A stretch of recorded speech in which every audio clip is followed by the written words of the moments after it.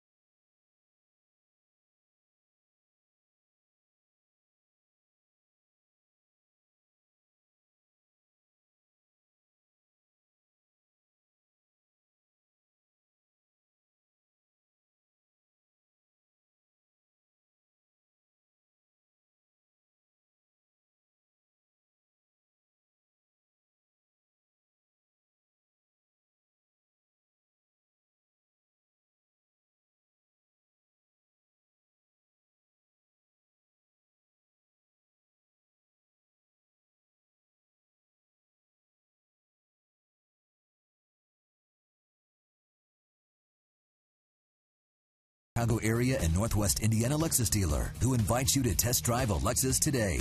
Blue Cross and Blue Shield of Illinois. 75 years of being right here in Illinois means no one's closer to your wellness. Experience wellness everywhere.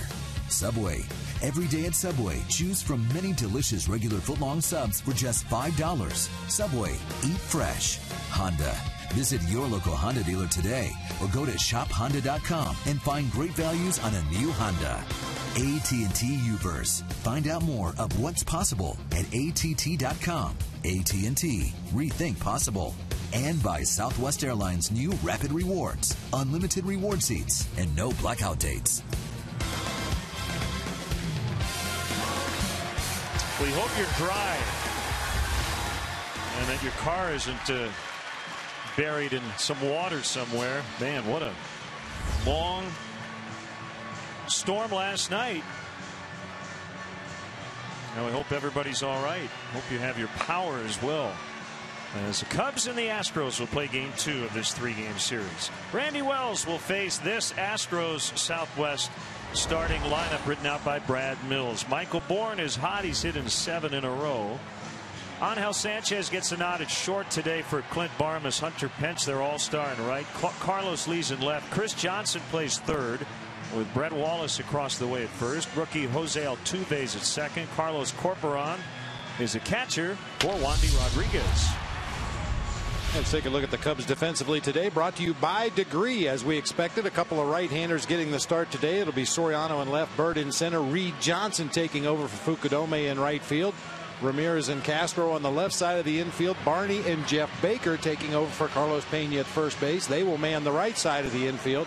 Geovany Soto doing the catching today for right-hander Randy Wells. His numbers on the season and he needs to do a little better job of missing bats or at least getting weak contact. Very important that he use his secondary pitches and use them early. He's our Lexus pursuing perfection starting pitcher. C.B. Bucknor, born in Jamaica, moved to the U.S. in 1973. In his 13th year, he's going to call the balls and strikes with Dan Iassogna, the crew chief Dale Scott, and Jerry Meals on the bases. Speaking of on the bases, that's where you do not want Michael Bourn to be. This guy is a uh, game disruptor when he gets on base. Leads the major leagues in stolen bases this year, has done so going back to 08.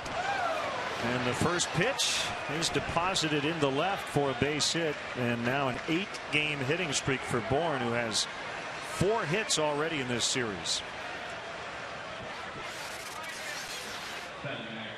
That didn't take long. No, and if history holds true, he won't be at first base very long either.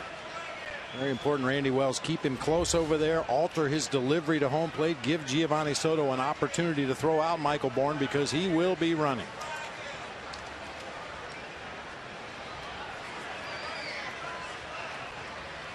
Sanchez, the shortstop, as Wells will fire over.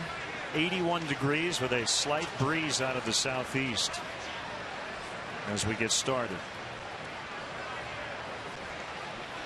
He's got eight steals already against the Cubs.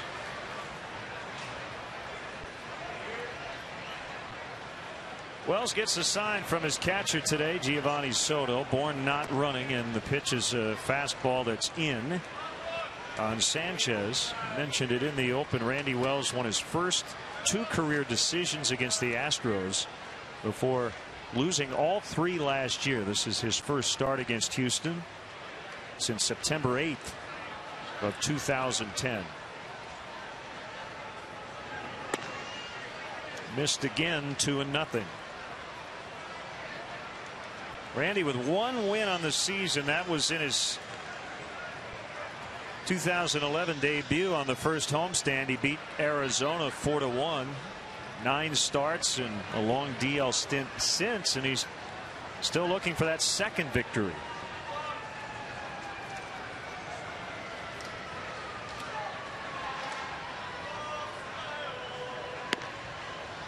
Got the slider over two and one. Yeah, Hunter Pence in the on deck circle when we were talking about his unusual warm up procedure. Very awkward looking practice swings, but just an over exaggeration to remind him of what he wants to do when he gets up there at the plate. It looks like he's really concentrating on driving that right hip and the backside of his body through the hitting zone. Everybody has something they do in that on deck circle to remind themselves of their own trigger points, things they want to make sure they do right mechanically when they get in the box. And sometimes it looks a little awkward in the on deck circle, but if it works in the batter's box, that's all that matters. A lot of what Hunter Pence does, even his throwing motion is is rather awkward, but it works for him.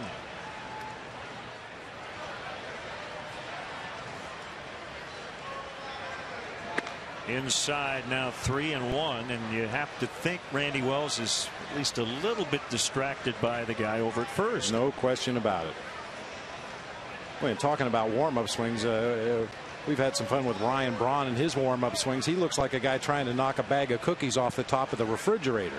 Takes a very high swing, gets a lot of top hand.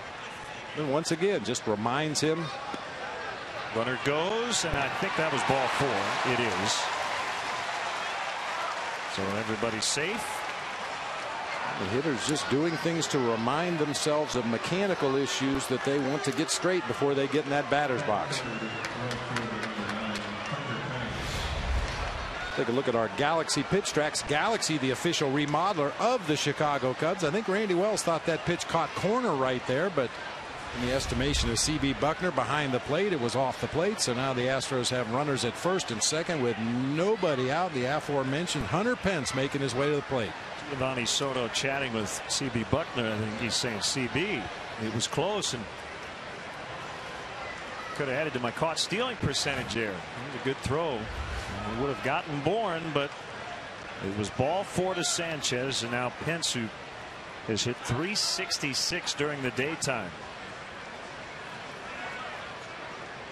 0 for 4 in the opener. But he hit a ball as hard as you could hit it as he lined out to left with the bases loaded and nobody out in the third inning. On that play, the pitcher was at third base, Bud Norris. He did not tag up. Went a few steps down the line, and not only did the Astros not get a run on that particular play, they didn't score at all in that third inning.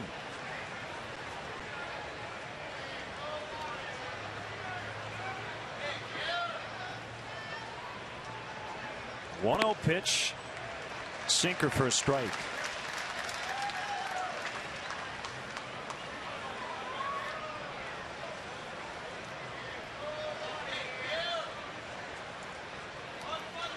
Astros have the worst record in baseball 33 and 66. A mammoth 20 games out in the division. It's low and inside two and one.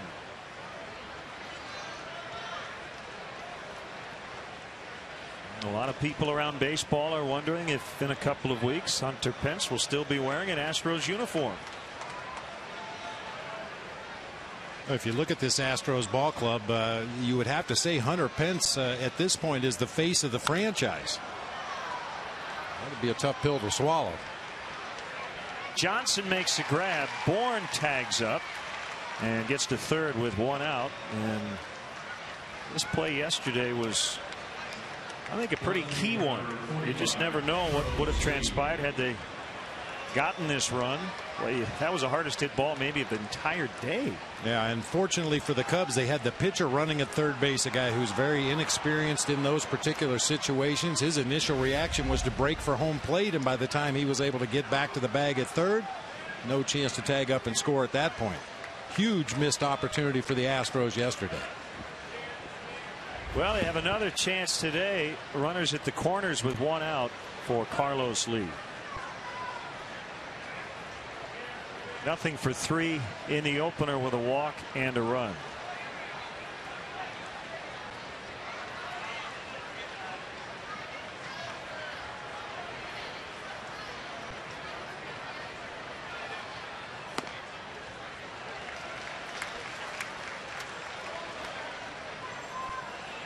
Has not been a good strikeout candidate this year.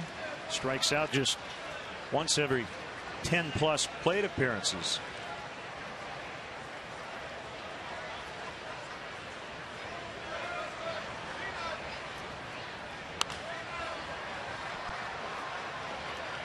Oh and 2. Nice grab by the fan. And about the fourth row in the upper deck right off of first base.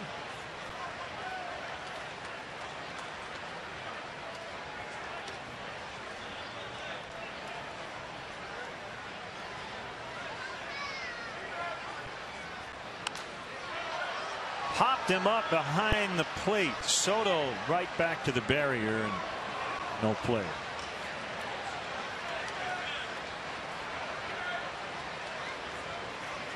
I thought there might be enough wind blowing up above the roof of the stadium to push that ball back into play behind home plate, but unfortunately it ends up three or four rows behind the backstop. You see the flags blowing out toward left center field. The first inning has been a real problem for Randy. And for the entire starting staff for that matter. He's battling a jam here. And another 0-2 is low.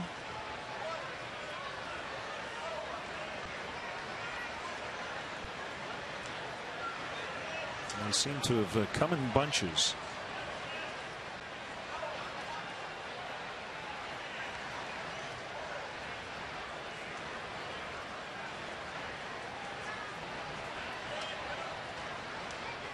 One two changeup, swing and a miss. It was up, not where Randy wanted it, but Lee missed it.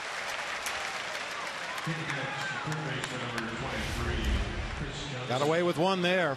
Change up belt high right in the middle of the plate, but El Caballo swings right through it. Something you rarely see, as you mentioned. He doesn't strike out much. For a big guy. It swung right through that changeup. Chris Johnson with two outs.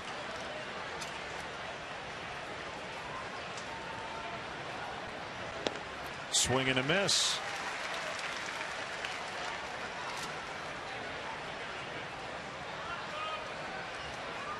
Bourn started it with a single. Sanchez walked. Then Pence flied to right. Lee punched out. And it's 0 1 on Chris Johnson, the third baseman. Make it 0 2. To back sliders in nearly the same location, the same result. A weak swing at a pitch that ended up out of the strike zone.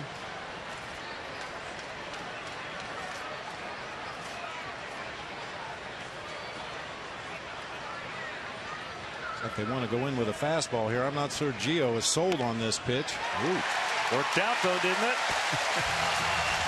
so Wells gets out of it as the Astros stranded pair. The Cubs are coming up against Wandy Rodriguez.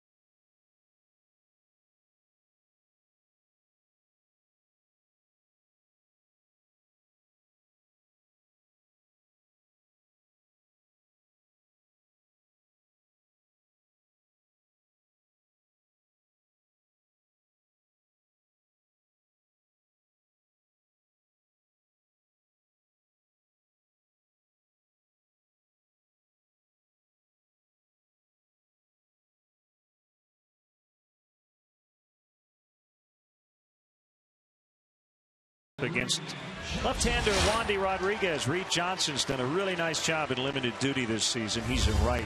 Starlin Castro, the shortstop, bats second. Ramirez, big game-winning home run yesterday. Baker's at first for Pena.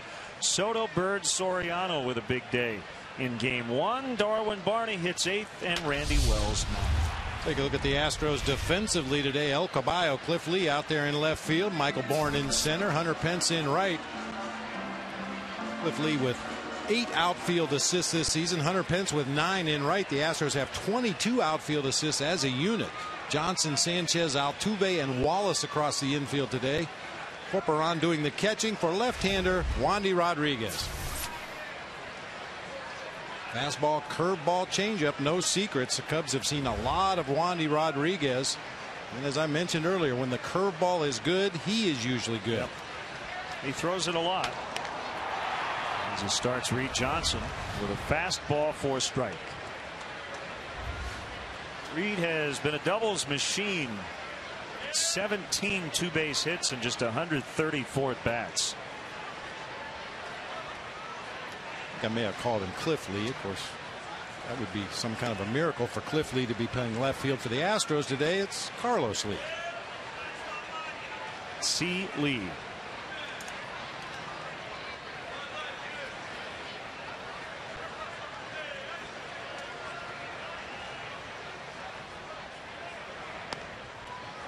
Fastball low to make it two and one.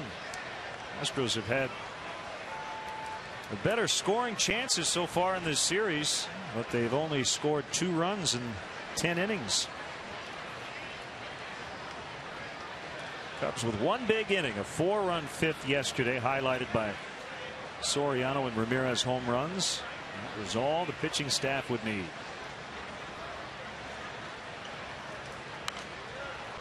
Foul back to make it two and two. Rodriguez is 32 years old, born in Santiago Rodriguez in the Dominican Republic. Product of the Astros Dominican Academy. You can see Rob Zombie at the ballpark today. More human than human.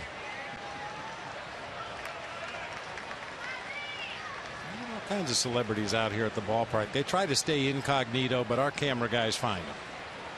Rob Zombie or Zach Galifianakis forgot to shave last week. He's trim.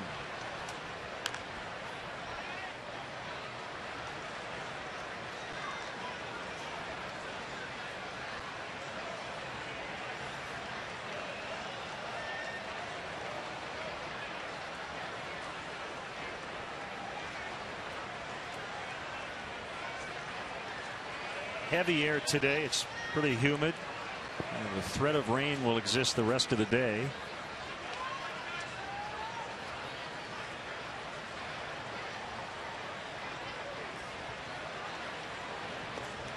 And he got him for strike three.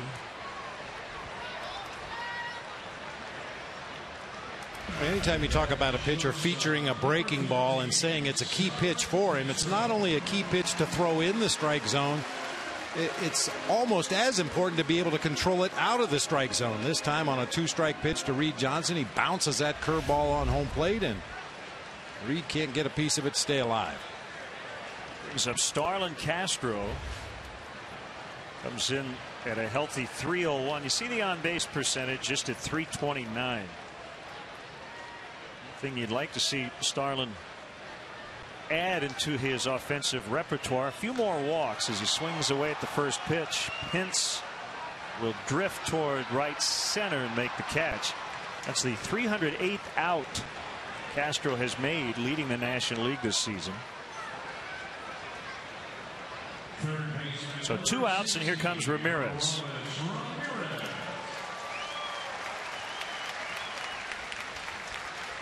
Now Castro keeping that batting average right around the 300 mark pretty consistently all season, but it makes you wonder if he were able to draw two or three more walks per week. That batting average would shoot up uh, 10, 15, 20 points over the course of a season if he could just take a few more walks, not to mention the benefits you would have of getting him on base a little more often. Well, a good example Carlos Pena is hitting 224. So Castro's 77 points better in terms of the batting average, but because Pena has walked 53 times, he has a higher on base percentage.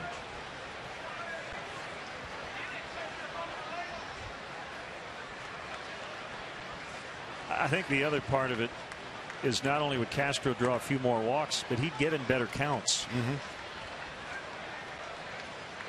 You know, and everybody's speculating that as he gets a little bigger, a little stronger, a little older, a little more experienced, that he's going to hit more home runs.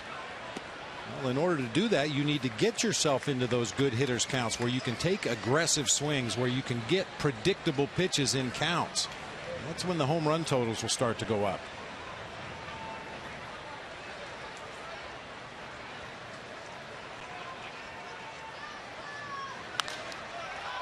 Another fly ball, and it's Pence again.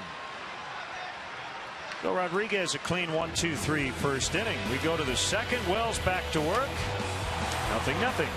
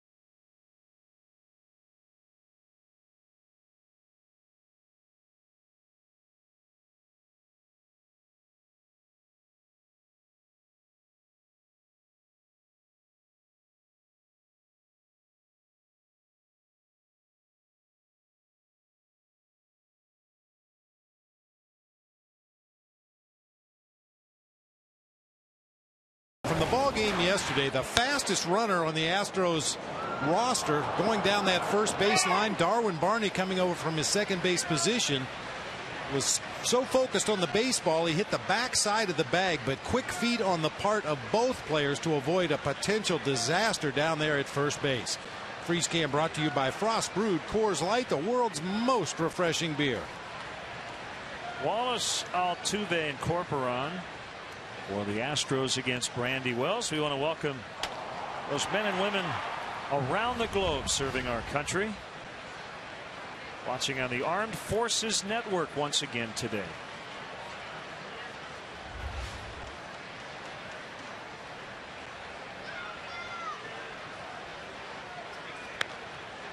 Two and zero. Oh. Wallace started yesterday went one for three.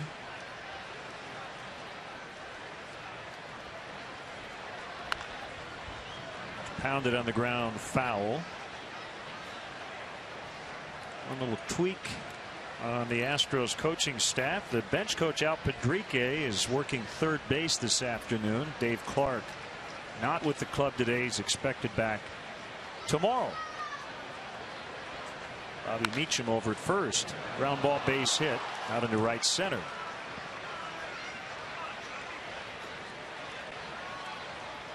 Follow all of today's stats and info in real time with Cubs in game live only at csnchicago.com. Brought to you by Honda.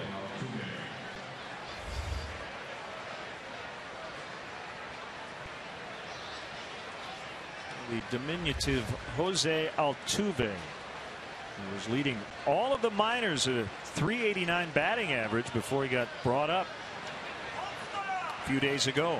Third major league game here today. He's playing second. Takes a strike.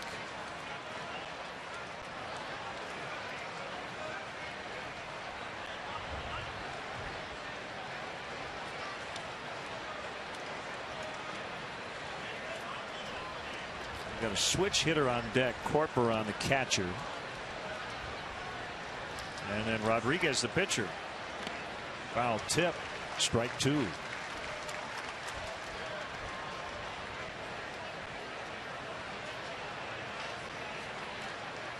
Well, when Randy Wells isn't pitching or throwing a side session or in uniform in general, you can generally find him at the guitar store.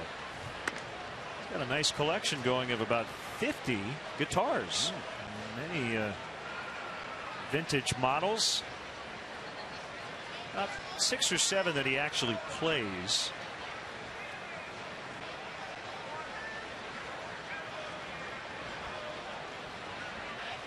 You could waste a whole afternoon at Guitar oh, Center. Absolutely. It's just foul past third. Now you go into Guitar Center and there's some guy that maybe is the lead guitarist for a band that picks up a guitar, plugs it into the amp like that guy. and just goes to wailing on that thing. And that always embarrasses me because when you go in there and play the same three chords over and over, you, hey, put the guitar down, sir. But yeah, I can spend all kinds of time at Guitar Center. A pop up, and it'll be Castro in shallow left. No stairway.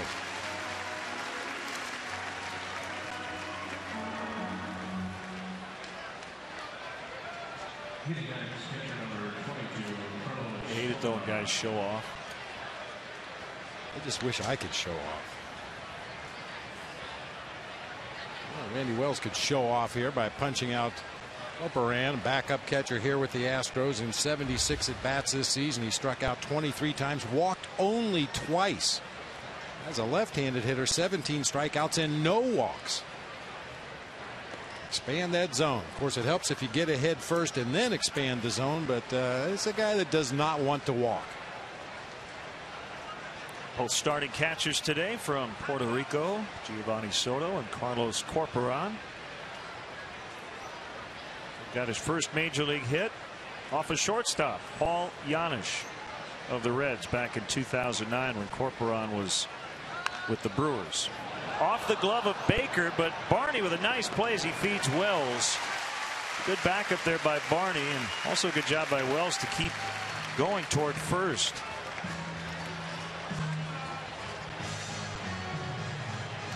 We bring up a good point, Len. As long as that ball is still in play, the play continues.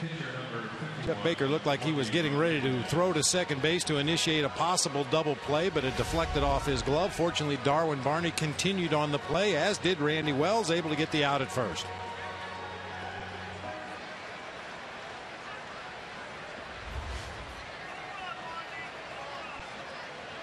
They sometimes switch hitting Wandy Rodriguez.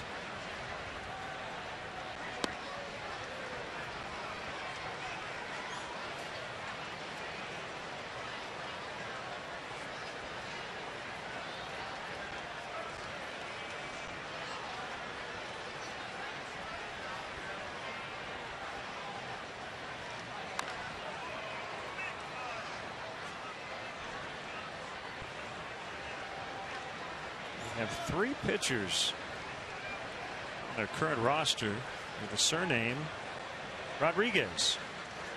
Wandy, a starter, and a couple of right-handers, Aneury Rodriguez and Fernando.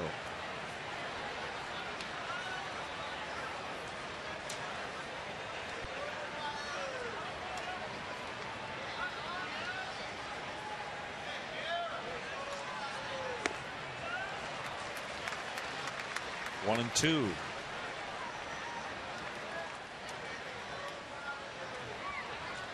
Only one other early game today. That's the A's and the Yankees. Rich Harden, the former Cub, facing A.J. Burnett. And they are scoreless like we are in the top of the second. Being, being played in the Bronx.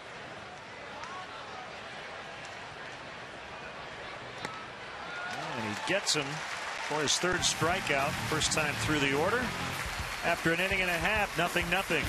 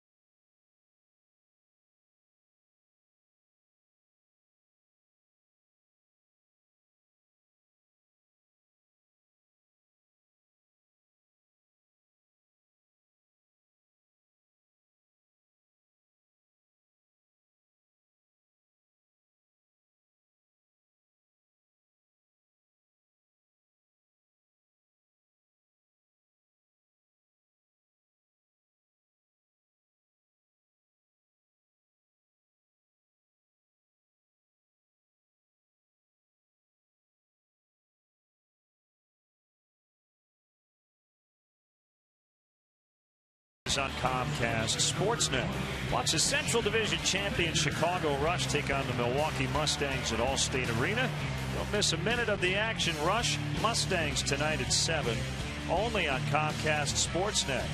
Fans' best friend. Cubs will bat in the second inning. She's happy about that. Baker, Soto, and Byrd for the Cubs.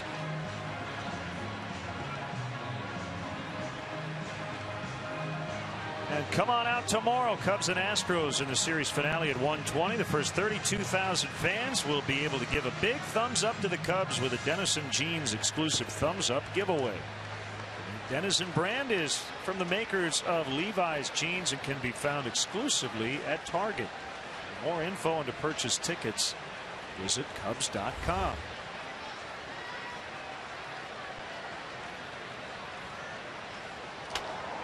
Uh, Jeff Baker was probably the first Cubs hitter at the ballpark today. Bruce Lee will make the grab. Facing a left-handed starter, he probably figured he would be in the lineup, and why not? He's a 500 hitter before that at bat. 7 for 14 coming in with four doubles against Wandy Rodriguez. A little overly aggressive in that first at bat.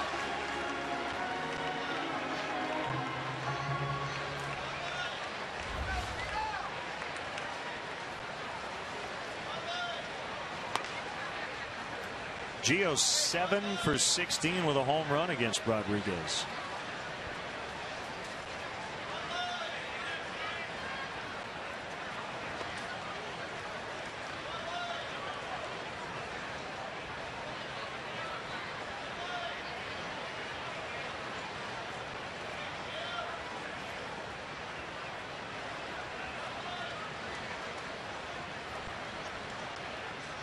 As you would imagine, the Cubs and the Astros, for that matter, near the bottom in the majors in terms of pitches per plate appearance. Red Sox see almost four per. Yankees a second on that list. Cubs 27th, the Astros 26th. Pretty aggressive lineup. And he's out on strikes. It might have been a called strike three, even though Gio took a half swing at it. Two punch outs now for Rodriguez.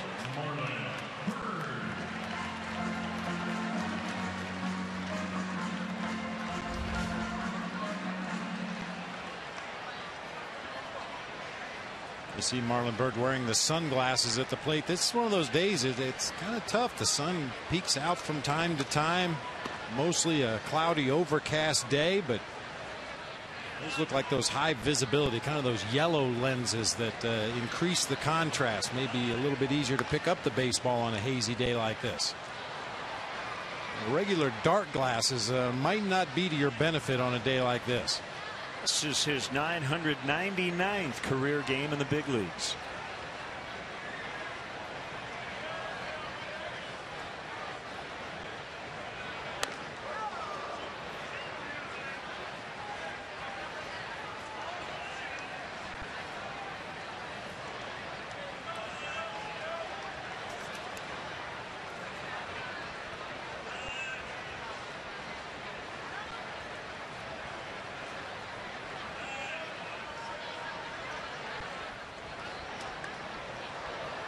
Rodriguez is just 5'11, but he towers over his second baseman. Jose Altuve is listed at 5'7. I've seen reports they say he's 5'5.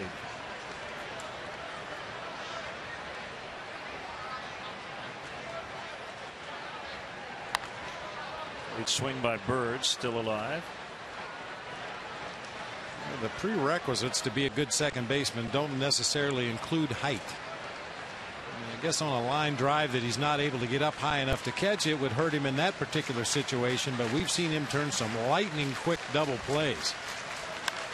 It's a great story as Byrd cranks this one to deep left center. Gone.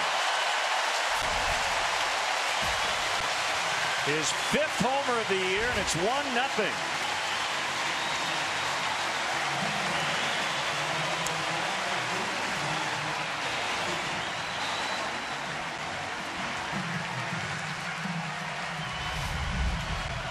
Quick swing by Marlon Byrd. Talk about quick hands. Got a middle of the plate fastball at 90. Really drove that bat through the hitting zone in a hurry. Ball carried a long way, about three quarters of the way up the bleachers in left center field. I'm starting to win that home run battle here at home.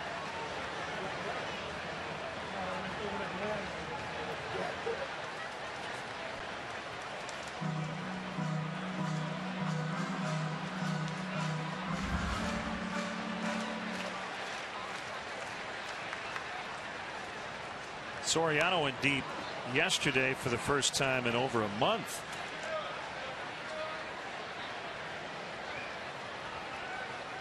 Cubs have been out homered 51 47 here at Wrigley Field, but that split was a lot more drastic during the first couple of months.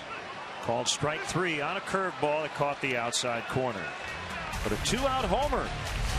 Now the Cubs center fielder Marlon Byrd 1 nothing Northsiders.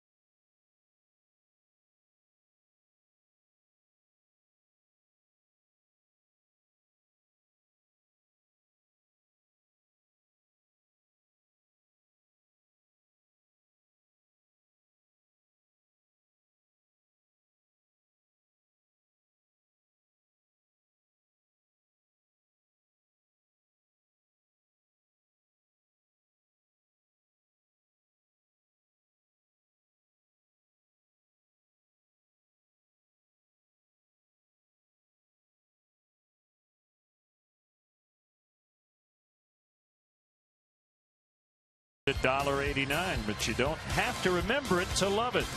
Prices and participation may vary for a limited time, a la carte only. No place like home. One ball, one strike. Michael Bourn.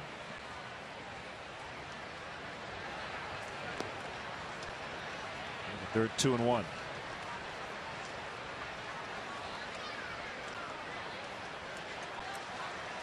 Uh, a few people uh, screaming for anti-M over the last uh, week or so. Nice nasty thunderstorms.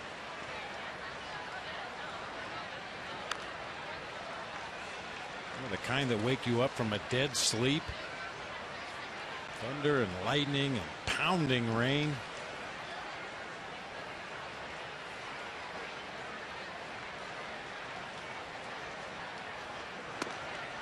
Side. It's full three and two.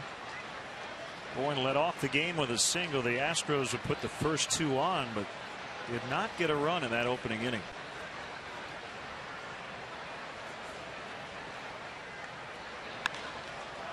Lined to Barney.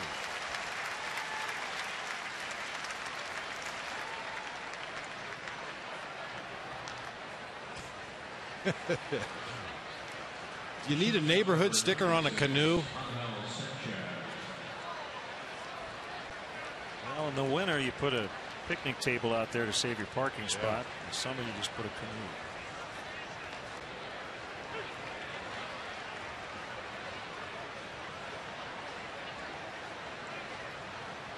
Pretty good chance we'll see Carlos Marmol if a save opportunity presents itself today. Gave him one last shot before the ninth yesterday, and he was really good. Faced two guys, struck out both of them.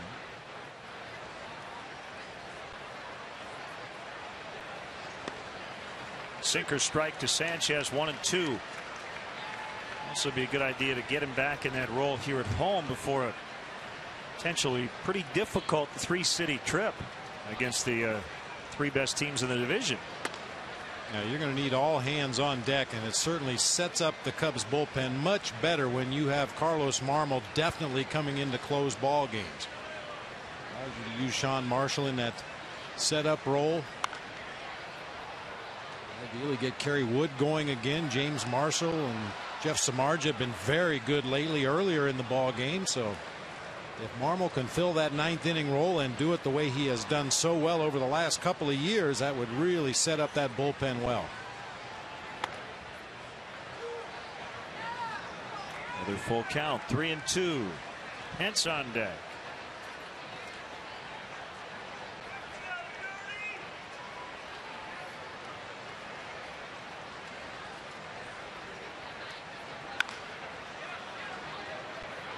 To back 3 2 sliders. One to Bourn, the other to Sanchez, and both times Wells gets outs. Hey fans, check out the new Cubs Kids Club presented by ComEd, the official kids club of the Chicago Cubs. Help your favorite young Cubs fan earn his or her pinstripes as a member of the Cubs Kids Club, and they'll receive kid specific perks, experiences, and merchandise throughout the 2011 baseball season. Visit Cubs.com to sign up today.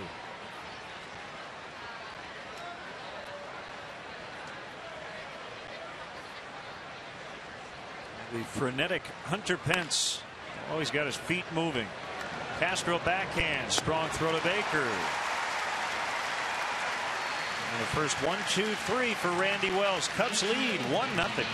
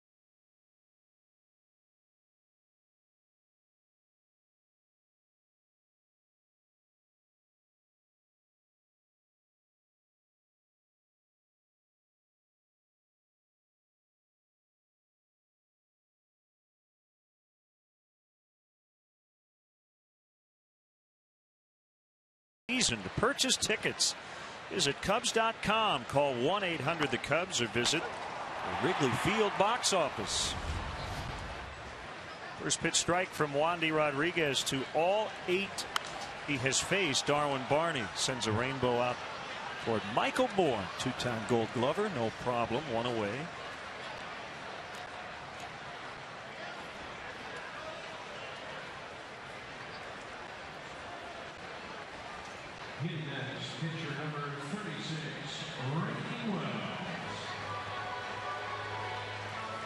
Former catcher, Randy Wells.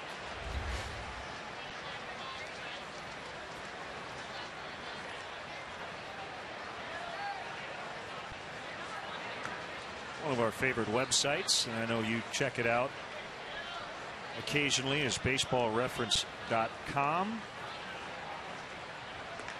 They keep adding fun little things. They now have a new section where you can type in franchise one, franchise two, and it gives you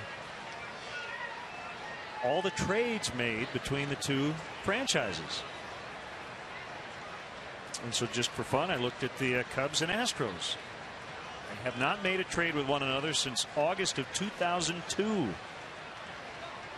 Tom Flash Gordon was sent to Houston. Players to be named later.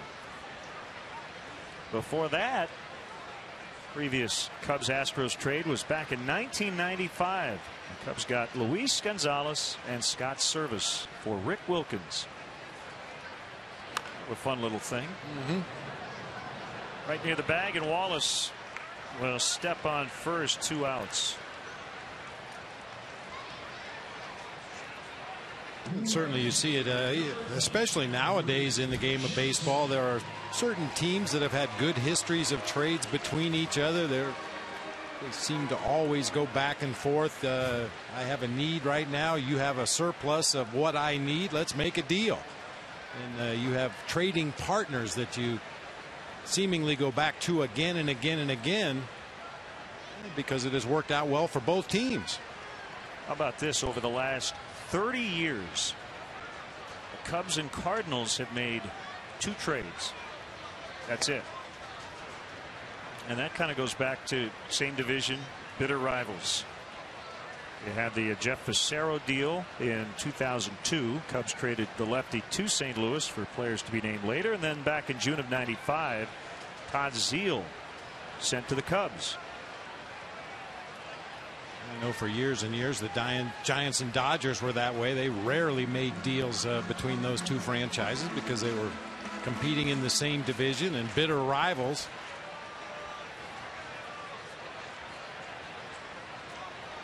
October 1979. Mike Tyson got traded from the Cardinals to the Cubs. No, not that. Not Mike that Tyson. Mike Tyson. Donnie Moore went the other way. The uh, most famous Cub Cardinal deal involved Lou Brock in 1964. Bring that up. Some big names though along the way. Lew Burdette was involved in a deal. Don Kessinger in the mid 70s.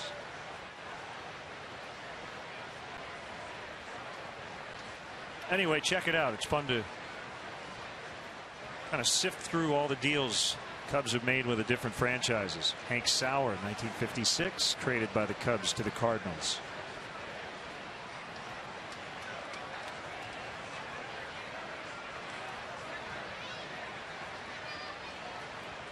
Talked about it many times in the past. Hank Sauer was my first hitting instructor in the minor leagues at the time with the San Francisco Giants. Was he fun to be around. 2 2 now to Reed. Johnson fouled off. Yankees and Red Sox have not made a trade since 97.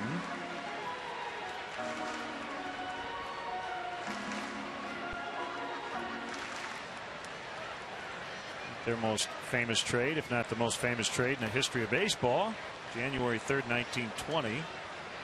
Babe Ruth was purchased by the Yankees from the Red Sox for $100,000. Rodriguez strikes out Johnson and the Cubs done in the third. They lead 1 0 on the Byrd homer back in the second.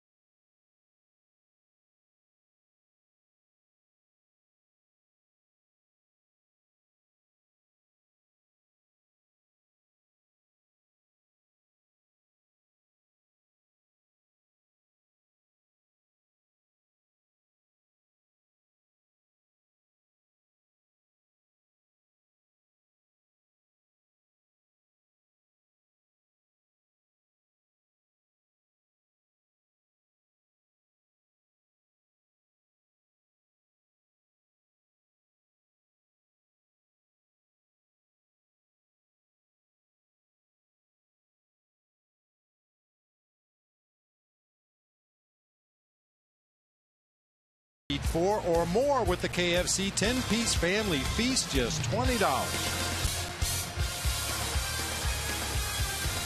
And our AT&T trivia question Hall of Fame weekend. So which player has come the closest to being unanimously selected for the Baseball Hall of Fame. It's never happened. The player's gotten 100% of the vote.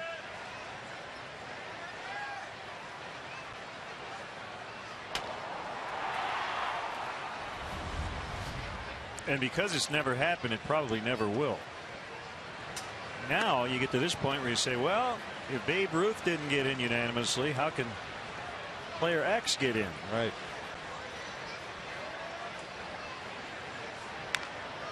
I mean, Greg Maddux will not get in unanimously. And that in and of itself is a joke. He won't.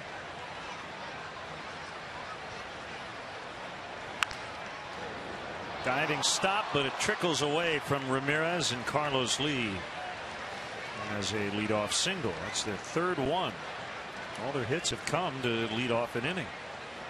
And what the voters who don't vote for Maddux will say is he's a Hall of Famer. I'm going to vote for him or was going to vote for him, just not this year. For whatever reason. Yeah, it's kind of like you look at the case of Bert Blyleven. Did his numbers improve over the years? You know, his percentage of votes went up every year until ultimately he got enough votes to go into the Hall of Fame. But it's not like he pitched during that time period. It's not like his numbers got better. I think what happens in terms of borderline Hall of Famers, Greg Maddux not being a part of this discussion, um, but talking with some people who do vote, they believe time is on their side. And if a guy is a Hall of Famer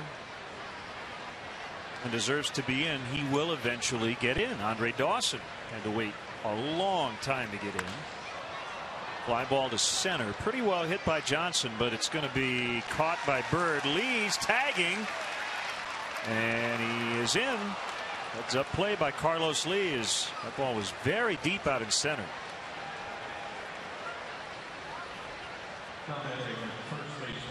Carlos Lee has come under heavy criticism down in Houston for his conditioning, uh, occasional apparent lack of effort on the field, but this was a heads up base running play on his part. Saw Marlon Byrd square up to the ball, realized it wasn't going to go over his head, and when Marlon was backpedaling as he caught the ball, El Caballo tagged up and moves into scoring position with one out. Be a key play. Represents a tying run.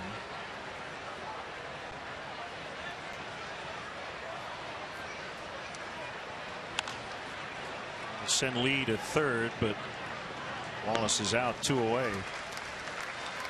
I think the theory is, and I do agree with this, I mean, it should be very difficult to get into the Hall of Fame, but the thought is it's kind of irreversible. Once you put a guy in, he's in. But if he's not in, you still can put him in later. And that's key when it comes to the steroid era. There will be a lot of wait and see attitudes.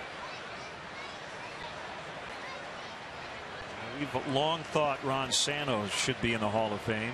And we continue to think that, and we'll always think that.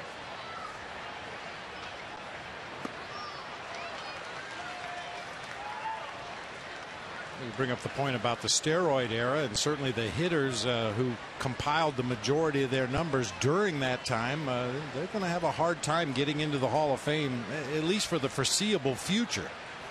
Which, in my eyes, magnifies how good Greg Maddux was pitching during that era. You're right. Nice play by Aramis as the Astros stranded a runner at third, and it took Wells just eight pitches to navigate through the fourth.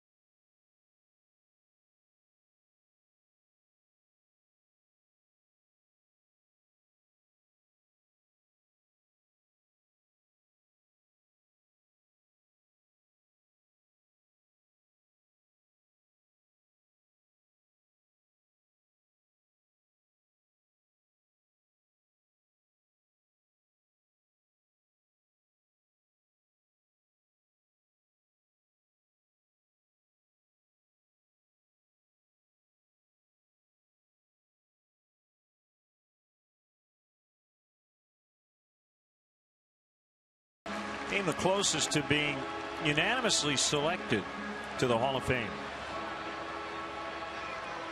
Tom Seaver, 1992, got 425 of 430 votes. Nolan Ryan missed perfection, so to speak, by six votes in 99. Cal Ripken by just eight in 07. And uh, Ty Cobb, 226 ballots, 222 yeses for Cobb. In the first draft class or Hall of Fame class of 1936. Babe Ruth way down on the list, 95%. Something else. I mean, Hank Aaron was on 406 of 415 ballots in 1982. Really? Bourn makes a catch. There were nine people who did not vote to put Hank Aaron into the Hall of Fame his first year of eligibility. Don't get it.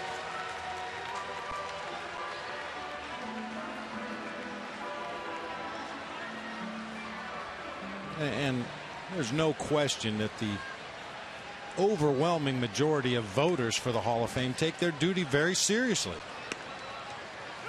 And occasionally you'll get a, some cockamamie off the wall vote for somebody who has no business being in the Hall of Fame. Uh, I think realizing that one vote is not going to change anything whatsoever, but you know, kudos to those who do take their vote very seriously.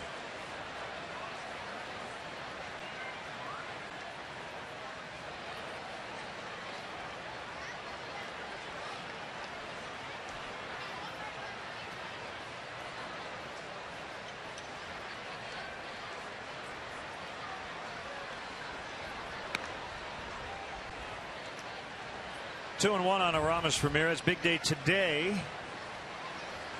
As we talked last week with Dave Van Horne, the Ford C. Frick Award winner for broadcasters, and Roland Hemond. Congrats to him. The Buck O'Neil Lifetime Achievement Award. Pat Gillick goes into the Hall of Fame today. Three World Series championships. Two with Baltimore, one with the Philadelphia Phillies, also the GM of the Baltimore Orioles. Great job in Seattle.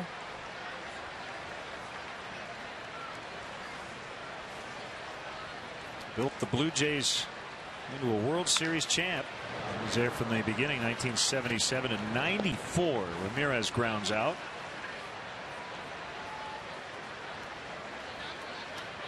And we put the Menards grounds crew in the grounds crew Hall of Fame if we could. Absolutely.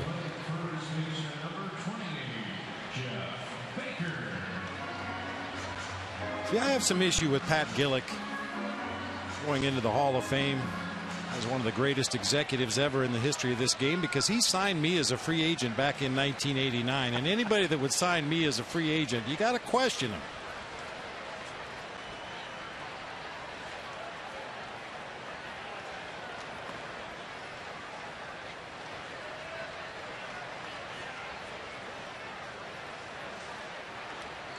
I think that's why he got in.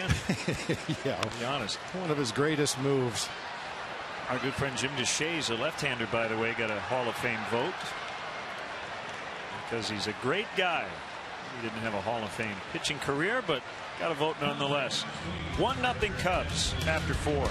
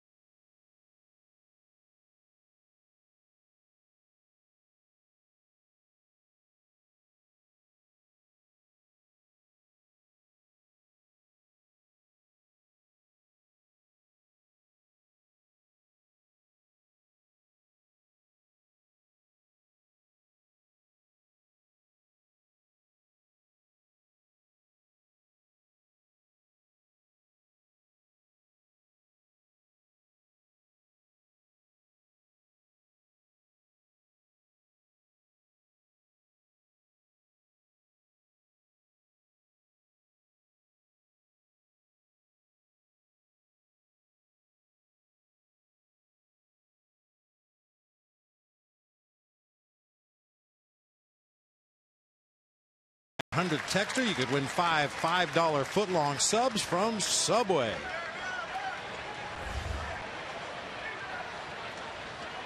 We want to take an opportunity to wish a very happy 87th birthday to a lifelong Cub fan, Croy Ostergaard, who attended the last game the Cubs won in a World Series, October 12, 1945, against Detroit. He was home from uh, World War II in Italy, where he served with the 10th Mountain Division. Went to Wrigley trying to get a ticket for game six. A fan saw him in uniform, offered him a spare ticket, and he watched the Cubs beat the Tigers in 12 innings. That's great. Also, happy 45th birthday today to Jeff Rain from your family and friends. Also, a congratulations to Tyler Brown, 18 year old Tyler Brown, who threw a perfect game at the USCAA World Series for Yes. Spalding University. Congratulations to Tyler Brown. Corporan bounces, and it's backhanded by Baker, who feeds Wells at first. Goes three to one. We also want to congratulate Kevin and Rachel Martin. I don't know if they're officially Kevin and Rachel Martin yet, but they're getting married today in Lombard. At least we got an invitation to their wedding a few months ago, but we obviously are here at the ballpark today. But I wanted to send out our best wishes to the Martins. Thanks for the invite. Looks like all the groomsmen were sitting out there in the bleachers.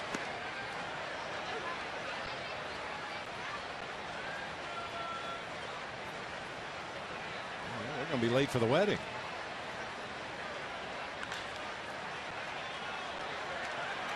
Barney to Baker to get Rodriguez. Almost getting into a nice groove as Michael Bourn will come up with two outs and nobody on.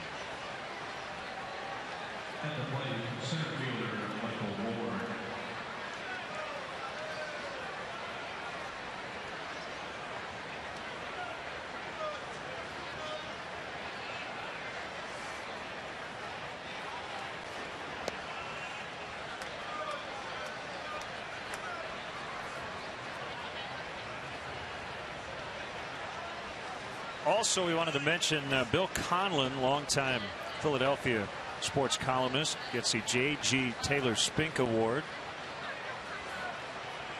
in Cooperstown. And singer songwriter Terry Cashman will perform Talking Baseball on the 30th anniversary of that classic.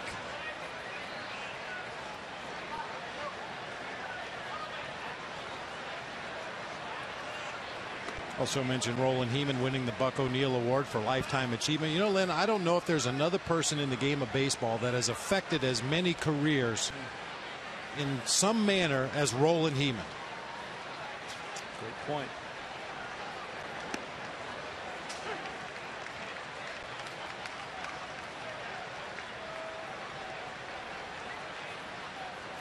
As respected as anybody in the game.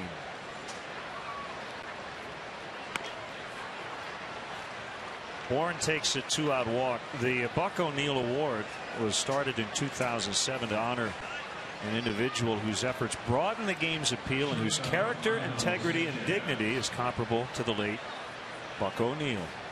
Died in 2006. O'Neil was the uh, first recipient of the award. Hemond is the second. They don't give it out every year necessarily, as someone is deserving.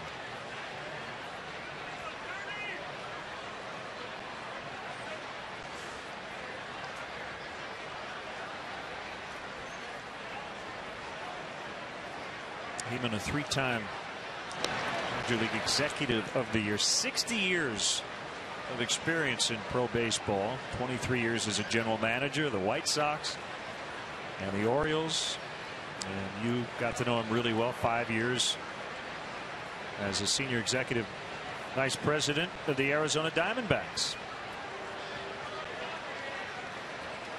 And in a game that has a tendency to grind people down and ultimately uh, show their darker side, I've never seen Roland Hemond without a smile on his face. He loves the game of baseball. He loves the people involved with the game of baseball. Rarely has a negative word to say about anything.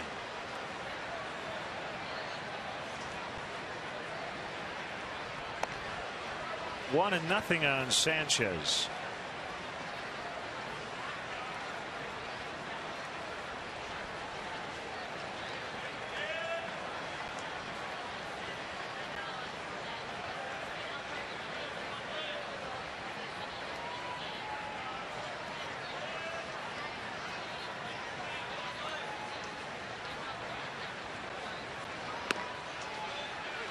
Slider strike.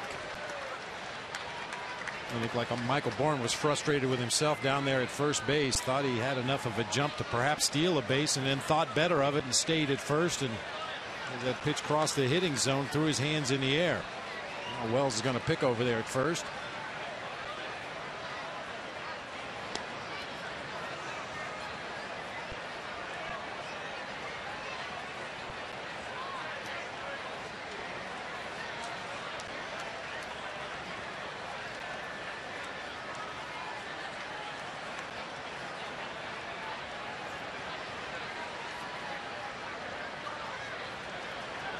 Bourn runs. Soto's throw.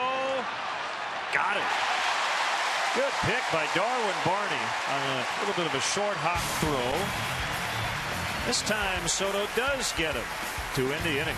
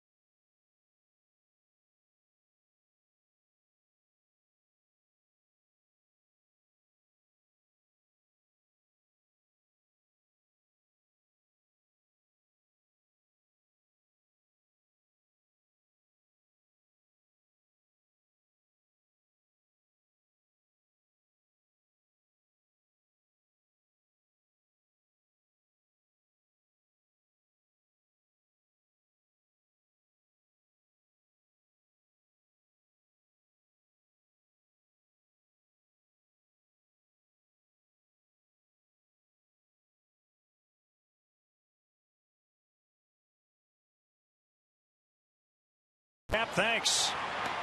Huge crowd on hand today. We've staved off the rain to this point. The Cubs lead 1 nothing.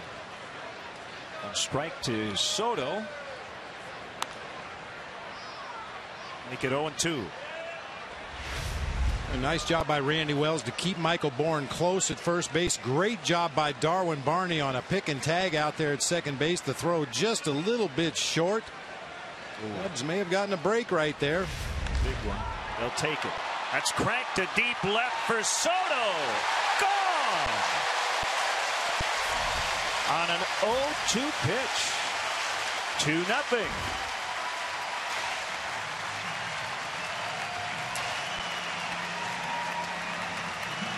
The catcher's dream right there. You nail the top base stealer in the game and then turn around and hit a home run. Uh, recently, Geovany Soto has been very passive with two strikes, but this time gets an 89 mile an hour fastball at the top of the strike zone. Nothing passive about this swing.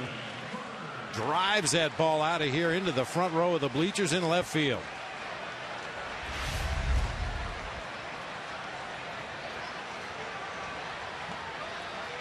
So Marlon Byrd, who gave the Cubs the lead with a two out home run to deep left center in the second.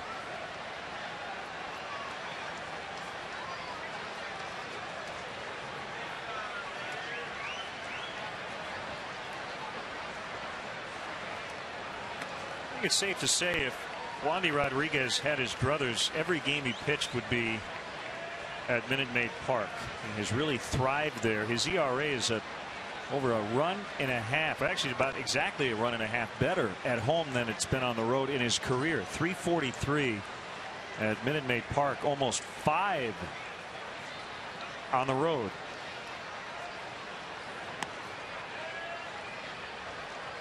Maybe it's that security blanket of the deep center field at uh, at the park in Houston. He feels like he's got an area of the ballpark where he can bail out if he gets into trouble. Just throw the pitch up and away from a right-handed hitter and let him hit it as far as they can to center. Very little chance anybody's going to go deep to center field in that ballpark. And he walks Byrd. Cubs have two hits, both home runs.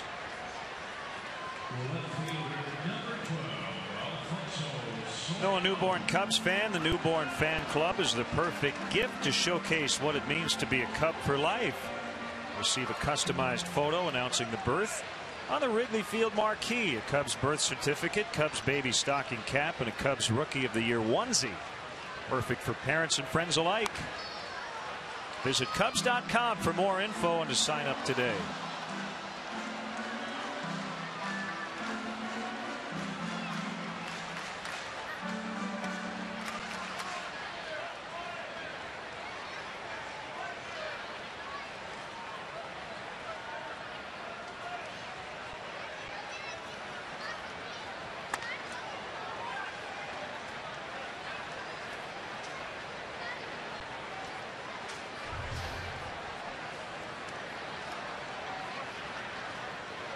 Rodriguez really hasn't labored at all. Giving up the two home runs, but this is the first time he's worked from the stretch. Bourn has it, and then Byrd will retreat to first.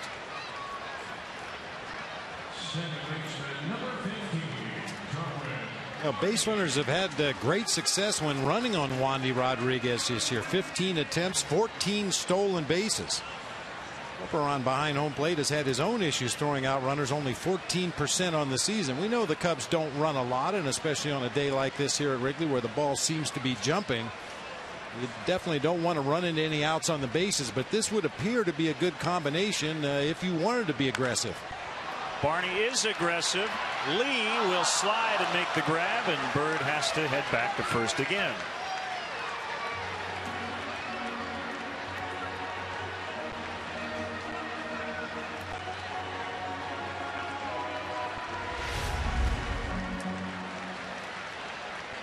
Carlos not known for his defensive prowess out there in left field but got a pretty good jump on this sinking line drive off the bat of Darwin Barney able to make a nice sliding catch. I think this ballpark really brings out the best in him. He enjoys the banter out in left with the fans in the bleachers. He's always hit well here. His career certainly appears to be on the downside, but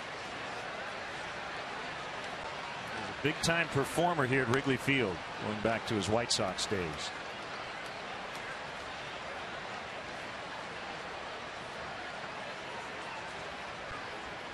Bob, there is a massive something flying around and it's Yeah. getting near the booth. A winged creature. Yeah. Wasp or a hornet or something. It has a big stinger on the end. It's some summer, you know. Happen. Uh, we're going to need that uh, particular insect to relocate somewhere because when we go on the road, he's liable to build a nest and we'll have a whole family of them. Generally, if you're nice to them, they'll be nice to you. Or so it goes. Well, if you smash them with a newspaper, you guaranteed they're going to be nice to you.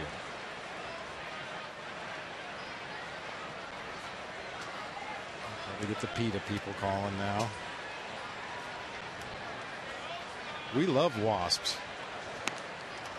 Called strike three to end the inning.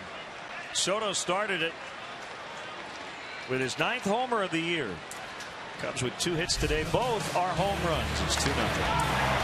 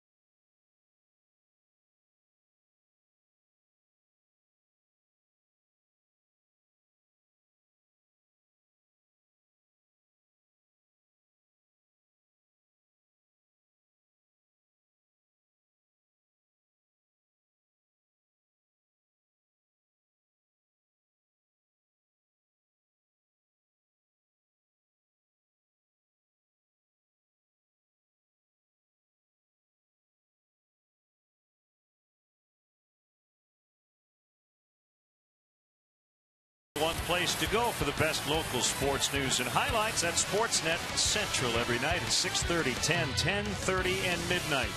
Only on Comcast Sportsnet, fans' best friend.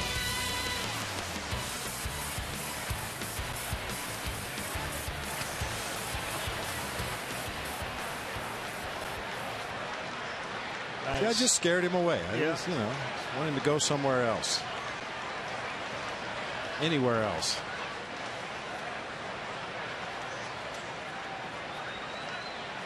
Two nothing. You notice I use the Astros media guide, not the Cubs. I was going to somehow relate that to your career at the plate, but I. Swing and a miss.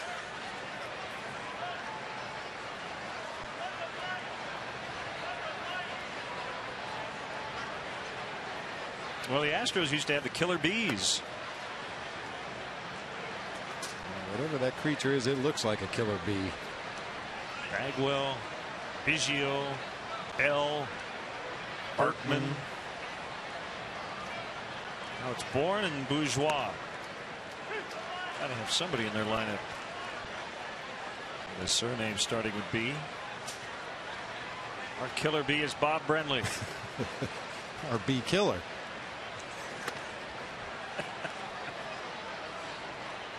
Two and two. There it is. Uh-huh.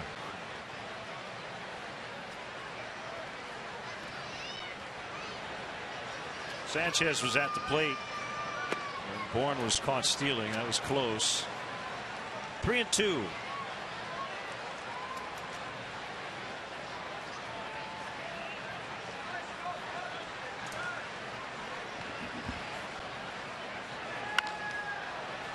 Drilled out into center field for a base hit. You saw Byrd was shaded slightly toward the other way.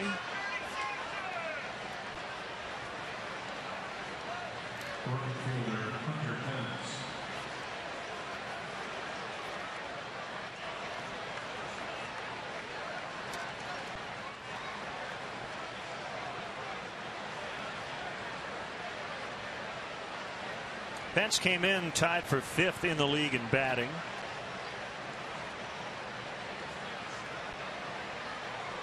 One for two, scored a run in the All Star game and saved a run with an outfield assist. Swing and a miss.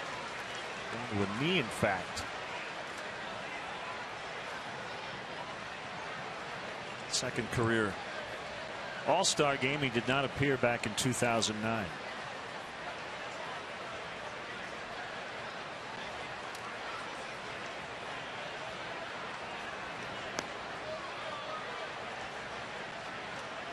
Hunter Pence, a very unique character in the game of baseball.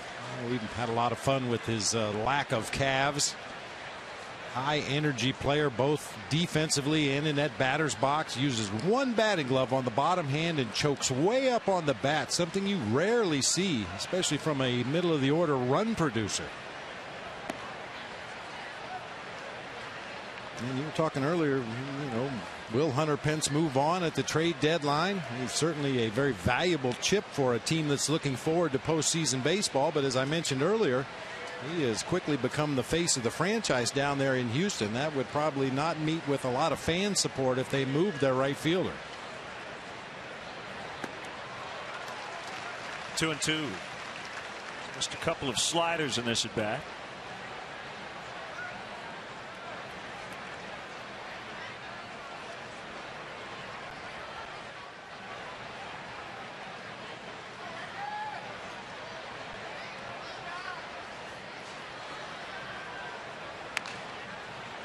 Castro will charge and throw to first in time.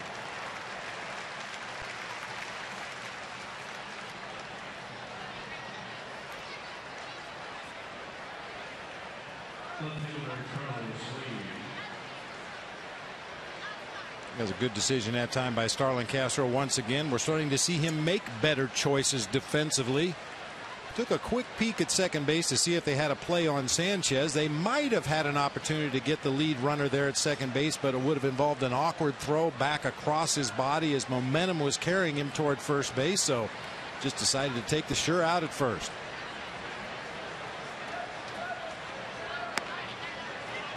Good location. Strike one to lead.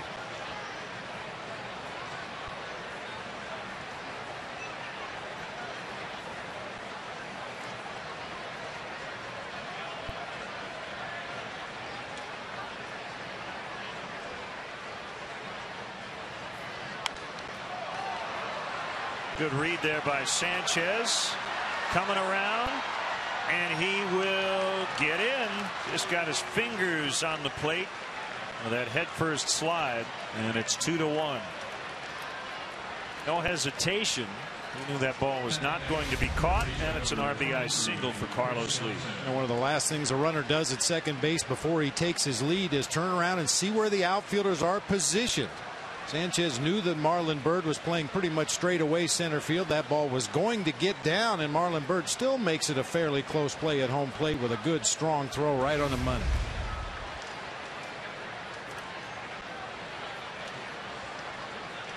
Yeah, a lot of your decisions are, are made much quicker if you just take that second before you take your lead off and see where all the defenders are have that picture in your mind as the ball is put into play. If you remember where everybody's playing, you should be able to get a much better jump. You got Samardzija and Russell up. It's only the sixth, and Randy Wells has pitched well, but right now the tying run is on base. Considering what's happened throughout the course of the first three months this season for Randy, Quade is not going to wait around to get somebody ready. And one thing you have to keep in the back of your mind if you're Mike Quade, Brad Mills hit for Brett Wallace in the ball game yesterday, so I don't think he would hesitate to do that again today. Should Mike Quade bring in James Russell to face the Astros first baseman who's in that on deck circle, wouldn't be a bit surprised to see Brad Mills take him down. There's Johnson. Slider missed outside.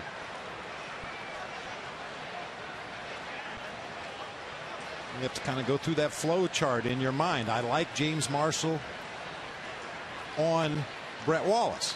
But if they pinch hit for Brett Wallace, do I like James Russell on whatever the right handed pinch hitter that makes his way up to the plate? Do I like that matchup? Because I'm just as likely to get that one. Hit and run as Lee took off and Johnson hit it foul.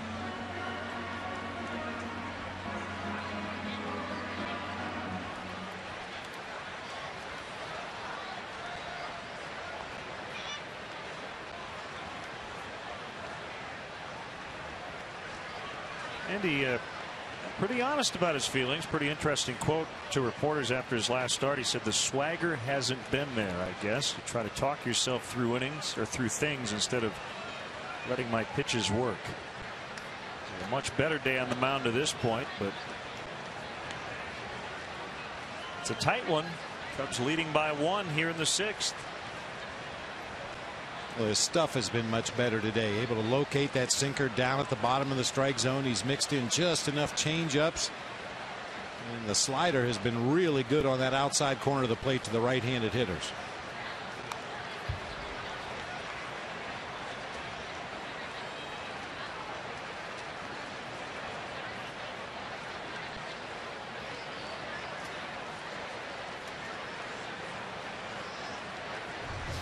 And he's gotten away with some today. I think back to that changeup that Carlos Lee swung through back in the first inning. Definitely a mistake pitch, not where he wanted it. But for one of the rare times this year, he got lucky.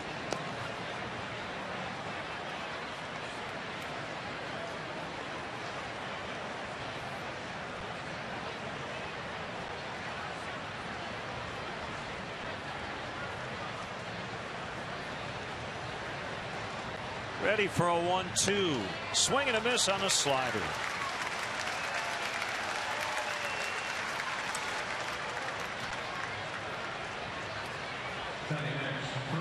Chris Johnson has had all kinds of issues with that Randy Wells slider today. He just pounds it out there on that outside corner. Johnson must identify that pitch as a fastball. The way he's swinging at it has come up empty in back, well, first at bat and now this at bat.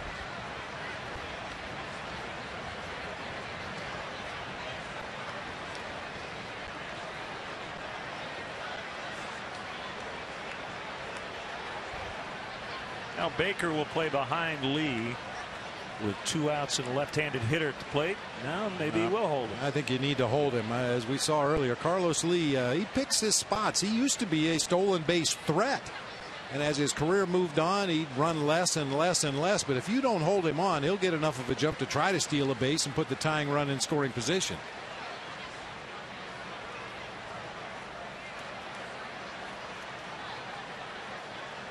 The uh, rare big blasts of sunshine. A somewhat overcast afternoon.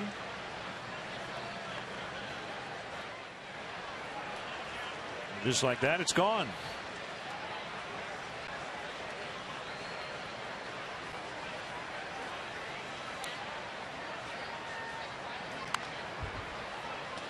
Reed Johnson playing about as deep as you can in right. Byrd pretty deep out in center. Cut off those gaps. Keep Lee from scoring the tying run.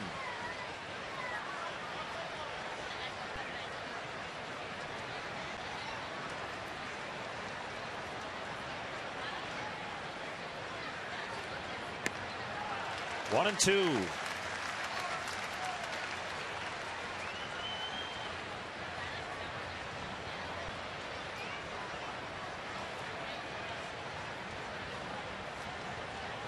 What's Gio doing? Talking about coverage at second. I think so. Yeah. Just making sure everybody knows what's going on here. Two strike count with two outs in the inning. Little chance that Carlos Lee might take off for second base, but just making sure that everybody was aware that it, it could happen.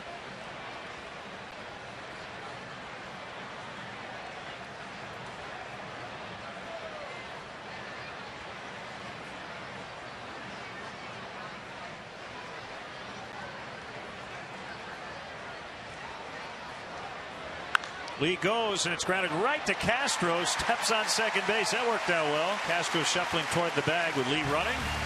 Ground ball took him right there.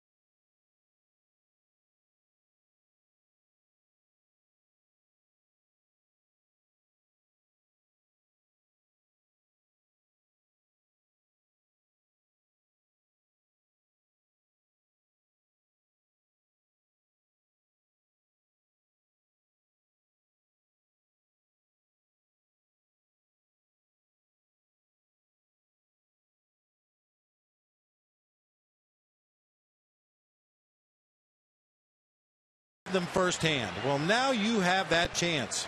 Join former Cub players Lee Smith or Jody Davis on these special tours on August 2nd, 4th, and 6th. For more information or to purchase tickets, call 1 800 The Cubs or visit Cubs.com. Top of the order here, Reed Johnson takes a strike. Astros got on the board. Cubs lead 2 1.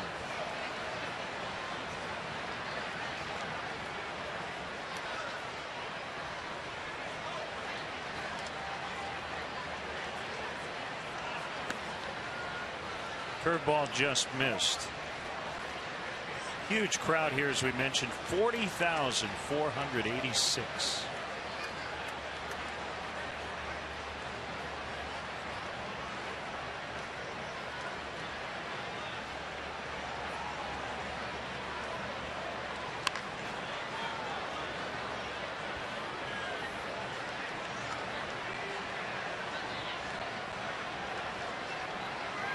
Rodriguez was in a very good stretch. He had five starts in which he had a 1.77 ERA, rather nine starts, five wins.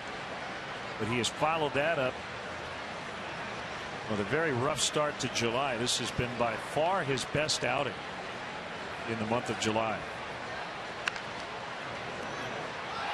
Dropped by Johnson, still time, and Wallace kept his toe on the base.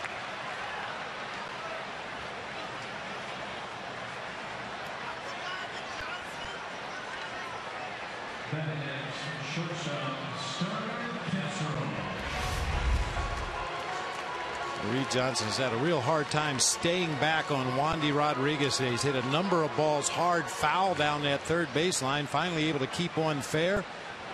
Johnson didn't handle it cleanly, but it was hit so hard he had enough time to recover and throw on in time to get Reed Johnson.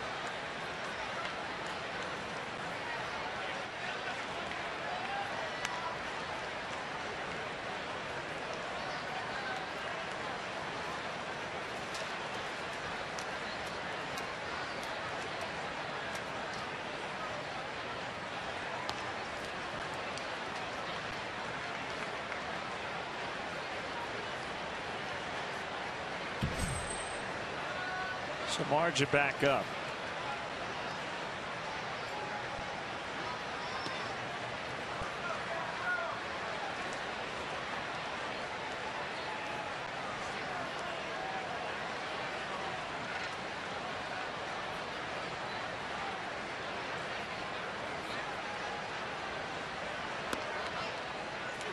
Three and one to Castro.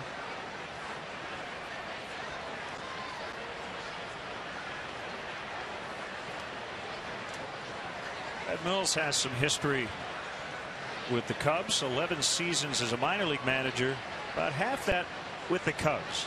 87 to 92 Hunter Pence in right makes a catch. Mills was the Cubs advanced scout in 2001 he played in the Cubs minor league system as well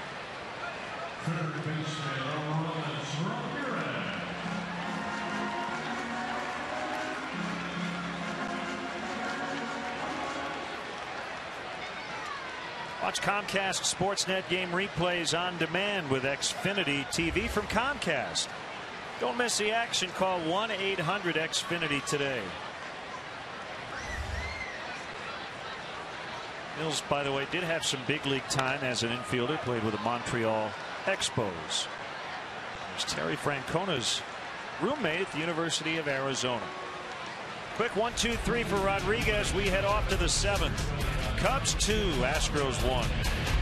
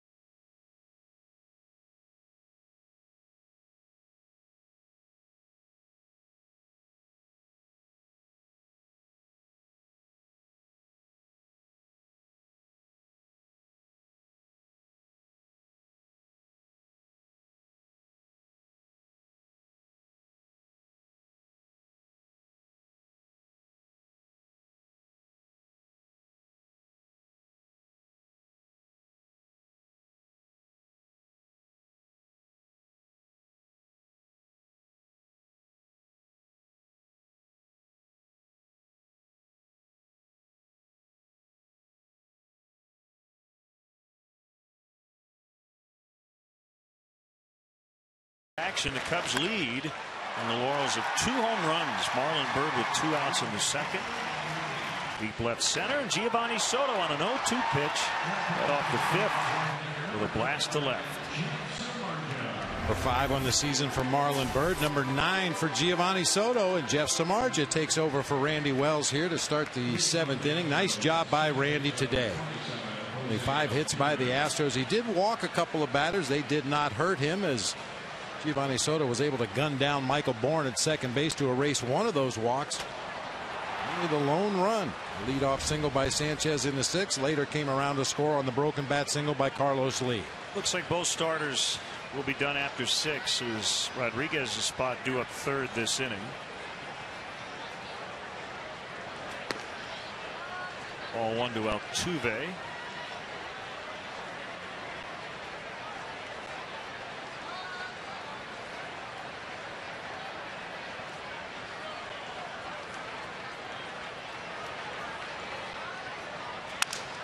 Broke his bat. That's a fair ball. Ramirez with time.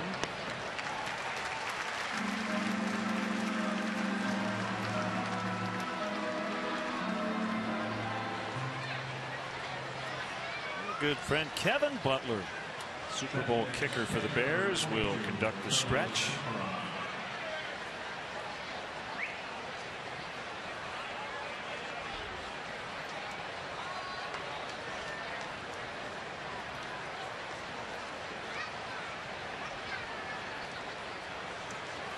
Corporan and then Matt Downs is in the on deck circle.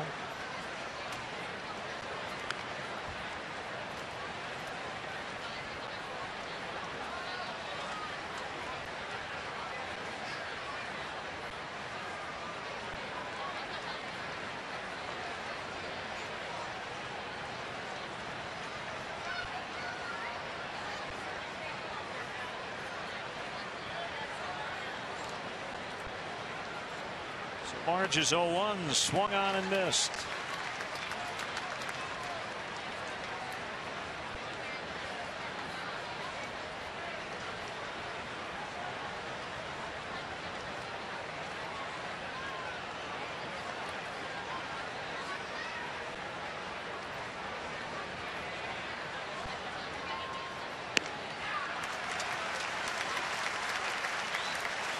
Marge strikes out Corporan two away.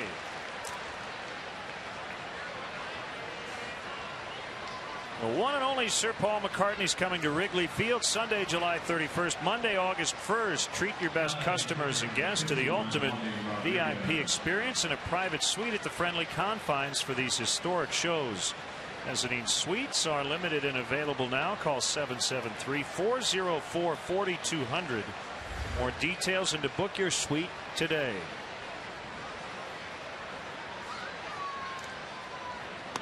It is Wandy Rodriguez. Take the at bat with nobody on and two outs.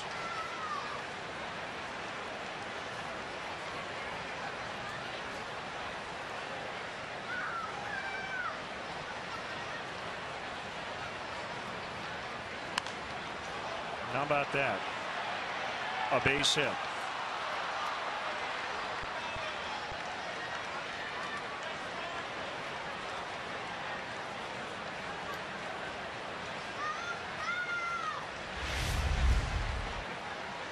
You called him a sometimes switch hitter. I don't think Wandy's ever really sure which side of the plate he's going to hit from. That's why he wears that double sided helmet. But a little soft liner into right field for a base hit that'll chase Jeff Samardzija from the game in favor of James Russell. Here is the lefty Russell. It's a Verizon call to the pin. We're in the seventh, and we'll be back.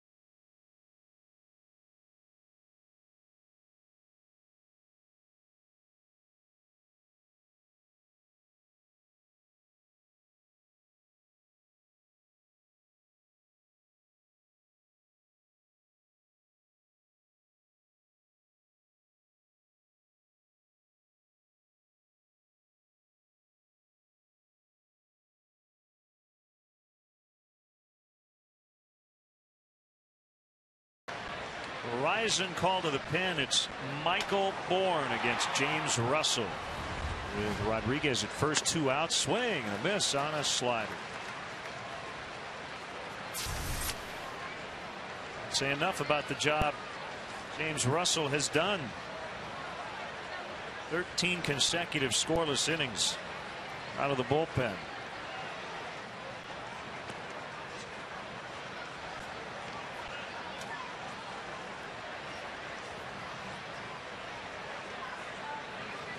For the fifth longest single season scoreless inning streak by a Cubs left-handed reliever since 2000.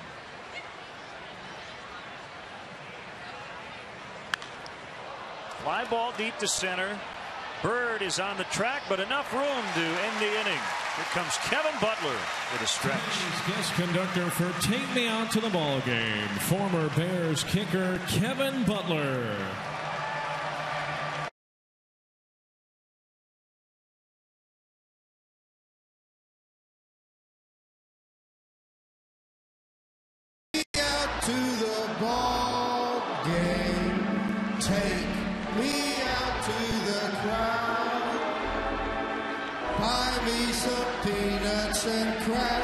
Cracker jacks.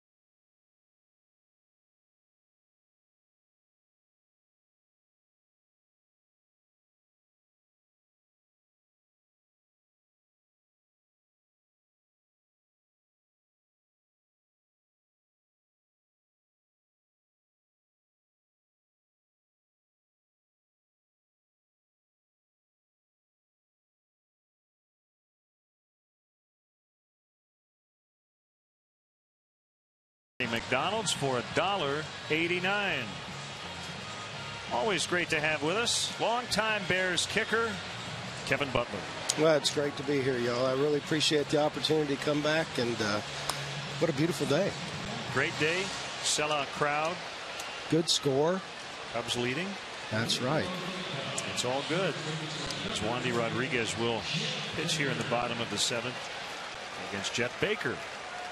You know, Kevin, as they say, the fruit doesn't fall far from the tree. And uh, we were talking between innings. You're a very proud papa of a kicker in his own right. Well, I am. My son Drew is uh, a fifth year senior down at the University of Georgia, and uh, they're getting ready to crank up college football. And um, we're, we're real excited about that. You know, with uh, foot, pro football kind of being wavering back and forth right now, I think everybody is concentrating on, college football, and uh, we're really excited about Drew. Very proud of what he's done. You were telling me you just got some good news from the, uh, from the Yeah. media department there Yeah. at Georgia. Why don't you tell the fans about that? Well, it, it's really cool. I mean, as a father, you're just so proud of your kids, no matter what they do. But my son called me up the other day. He said, "I just got, I just found out, Dad, they named the all-time University of Georgia football team." And he goes, "You made uh, place kicker." I said, "Oh, that's great." He goes, "And I made punter." So, Ah, uh, not too many times you can uh, get in a scenario like that. But uh, he, he's worked awful hard at it, and he's uh, like every parent. He's a much better young man than I was. Let's just be honest. Two and two on a Clemson product, Jeff Baker. Sean Marshall, who VCU.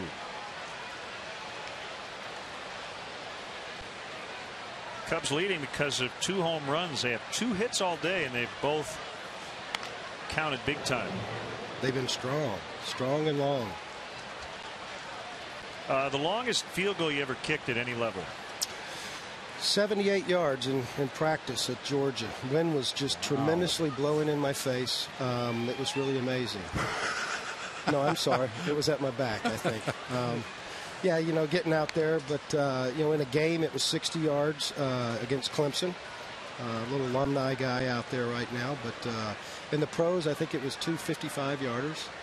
I remember Ditka, the first game of my career, I came out and I had a pretty good percentage of uh, 50 plus kicks. And uh, he put me out there right before halftime for a 64 yard field goal. And I think I almost took Keith Van Horne's head off. Um, it, it didn't make it. And I remember Mike kind of came up to me when we were jogging in at halftime and he said, Guess, kid, that was your one chance. You're never going to get it again. I'm like, golly, it's my first game. That's it. Your record-setting chance. Yep, yep. But uh, we, we, had plenty of times to set other records. I like um, the new camera they have that hovers over the field and the look behind the kicker mm-hmm. for field goals. It makes it look as difficult as it is. well, the, you know, between it, the uprights, it's kind of like you know I did the first pitch today, and you get up there on that mound, and all of a sudden the catcher squatted down and everything looked a lot farther away. And uh, it is like that. You know, you, you look at uh, those goalposts and, you know, as a kicker, we don't like to, to stare them down, but they certainly uh, become smaller and smaller the more you look at them. And you know, when you get sometimes in different stadiums, you just feel better when you're kicking. If those goalposts kind of sit right on the end of the stadium, they really do make them look closer. Now, Soldier Field is one where we had a lot of room behind the goalposts, and sometimes it would make it really look longer. So when you would line up for a field goal, obviously you'd look at, at the uprights. At what point did you not look at anymore and just concentrated on foot to ball? You know, I, I think it uh, when you take that deep breath. You know, when I went back, I took three steps back, two steps over, and I kind of took a deep breath. And at that point, I was just looking for the you know peripheral vision, seeing that ball come back, and I'd get into my step. And I'd always get nervous after the kick because you, you really feel like you, you just realize, well, gosh, if I'd have missed that, we'd be in some trouble. Or, you can't control or, it once you kick it. You know, after you kick, you, you kind of let all that emotion out. But uh, you know, it was uh, had some great teams around me. We got a, another great one going into the Hall of Fame this year, and Richard Dent. So just a lot of uh, a lot of proud uh, people that I played with that uh, keep getting more more awards as we get older. Kevin, I want to ask you, how effective is that that timeout to freeze the kicker? You see it all the time late in a close game. Uh, yeah. Teams got some timeouts left, and they, they call it right before the kick uh, to freeze the kicker. Is that effective? No, not. I mean, for me, it was just extra TV time. I used it. To, you know, they don't ever put the TV, kicker on TV until you get the timeout.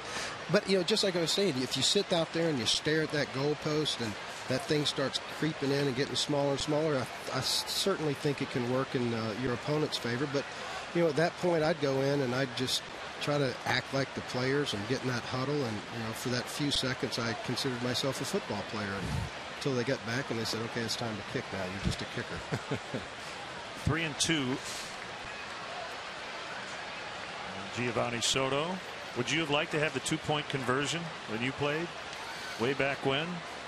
You know, I don't know. Fake I, couple. We, we had it in college. Around. You know, it comes up very few times. Um, I know I would have not been actively involved in a two point play. I would have been a decoy. They said, Kevin, go left. We're going to take everything right, and uh, that's the best way we could get it. And, but you know, it, it, certainly is an advantage if you're behind and you're trying to to do everything you can to tie that game up. I think it's an exciting play, and I think the NFL, uh, you know, is good by having it. I think the main reason they do it is for the armchair quarterbacks because it does give coaches more decisions that previously they yeah. didn't have to make. Puts a little bit more uh, thinking into your decisions and. You know, anytime you can give up one point and you go for two, that certainly could come back and haunt you in a, in a big way. And uh, I think that's probably what a lot of the coaches are wary of. Marlon Byrd with two outs. We're with Kevin Butler. We always enjoy chatting with Robbie Gould. Robbie is bear. tremendous. Um, you know, he is, uh, and, you know, I, I, think about my career stats 73%. If, if Robbie was 73% now, Robbie would be serving beer out here. He would not have a job. You know, it's just he would not have a job in the NFL. He would be doing something else because the the, the level of um, uh, performance has just gone up each year. And, you know, you have to be 80 to 85% to be a successful kicker in the NFL. And the kids have done great. They've got better coaching. Uh, they learn earlier and they become mentally stronger. And I'm telling you, we have one of the best, if not the best, in the league in Robbie. And I think it would be great for the Bears to just kind of hold on to him um, because we are that type of a team. You know, we, we get the close games, and every time you can pull three points out and count on that guy in these kind of conditions, um, those guys just don't come around every day. You're right. Three and one to Byrd. Plus, you know, complimenting him like that, I hope he's going to take me to play golf somewhere because they get paid about 10 times more than we do. Three and two. He follows the Cubs pretty closely.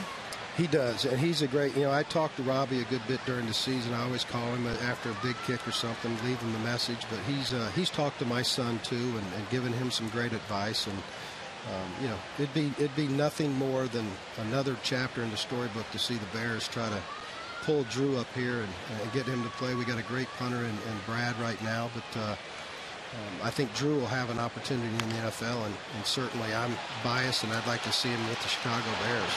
That one gets by everybody. Byrd's going to try to make it to second. The throw there, yeah. late. Good hustle by Marlon Byrd. It's a single and an error on Johnson on the throw to allow Bird to get the second. Great hustle there. It's a swinging bunt, if you will. Little roller down the third baseline. As always, Marlon Byrd motoring out of that batter's box makes it a tough play for Chris Johnson, who throws it away at first. Marlon will end up in scoring position for Alfonso Soriano.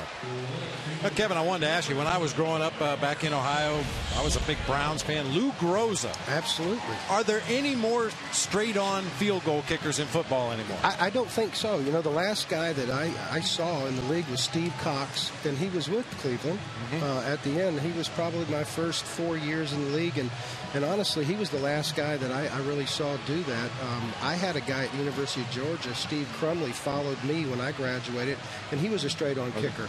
Um, I think with the soccer thing and, and, the kids learning how to kick like that, it, it really is a much more powerful, much more um, accurate kick. You're, you're, using your whole body. Uh, when, when the toe was in there, you know, it was straight on. Mark Moseley was probably one of the best uh, straight on kickers uh, in, in, in, the modern era. Um, and, uh, you know, the way the kids are built now, they're bigger, they're stronger. And if you can use your whole body to kick and control that ball, you're going to kick it longer and more accurate. And I think that's what we see now.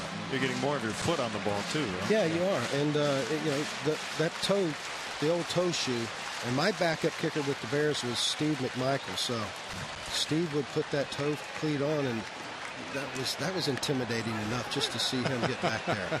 Um, now we have not had him in the booth, but uh, well, not since, a little bit of a, the last time. Yeah, an interesting uh, moment was it with Angel Hernandez? yeah, yeah.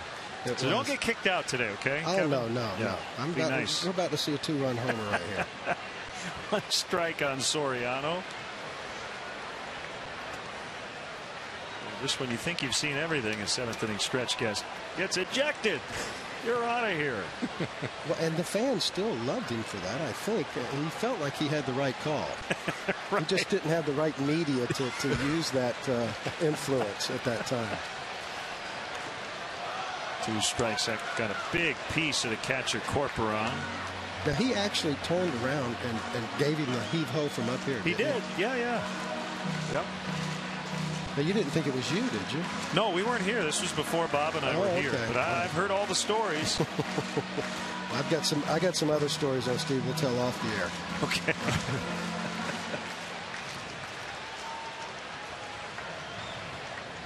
Inning continuing with an infield hit and error, allowing Byrd to get into scoring position.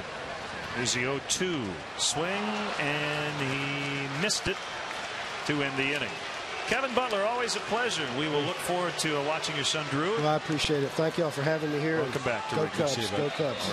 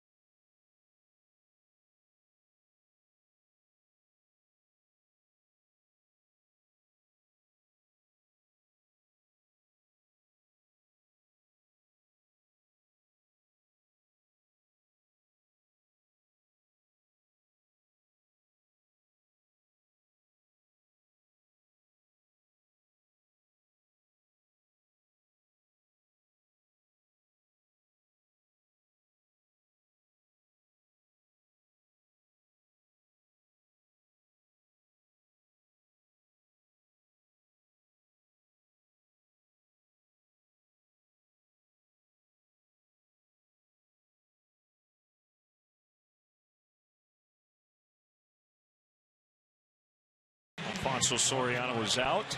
Reed Johnson goes right to left. Kosuke comes into play right, and Sean Marshall will jump into that seventh spot in the order. He got the save yesterday's third of the year. Back now in the eighth inning, and this would indicate to us that Carlos Marmol would get the ninth.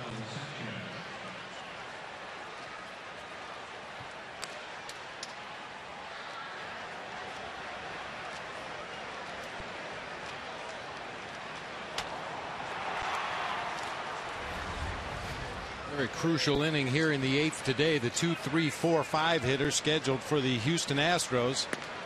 We talked about this in the past about saving the game in the seventh or the eighth inning, and certainly this is the inning that Cubs are going to have to work their way through the best hitters in this Astros lineup.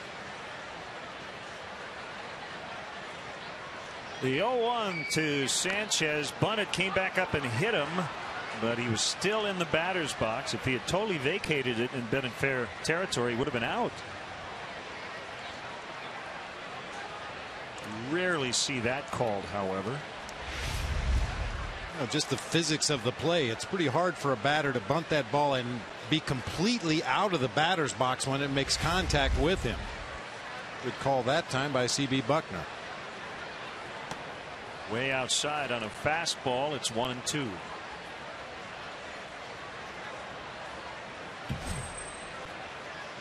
Left-hander Escalona. Sergio Escalona.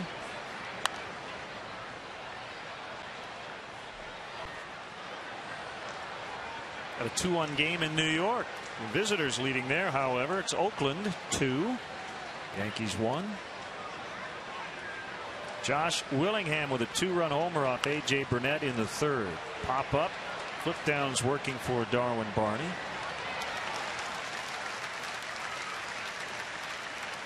The new Bud Light Bleachers series provides fans with exciting new opportunities in the Bud Light Bleachers this season, including free T-shirt Mondays, $3 12 ounce draft Bud and Bud Light Tuesday nights, and dollar Vienna beef hot dog Wednesdays. Tuesday night special also available in select locations in the seating bowl. For more information and to purchase tickets, visit Cubs.com.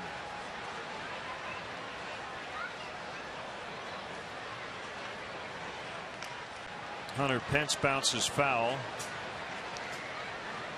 As we like to say, eerily quiet. 0 for 7 to start this series. You would be very fortunate to get through the weekend without Pence picking up a hit.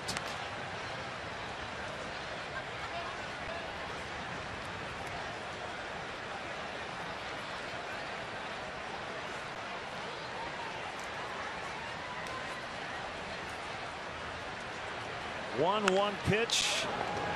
And nice play by Castro. Well, Pence has given himself chances for hits. Several balls hard.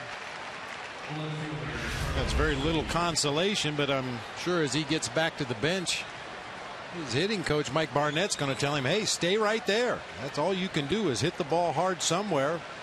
In the case of Hunter Pence, fortunately, he's been hitting it right at Cubs defenders in this series. Lead two for three with an RBI. Strike one.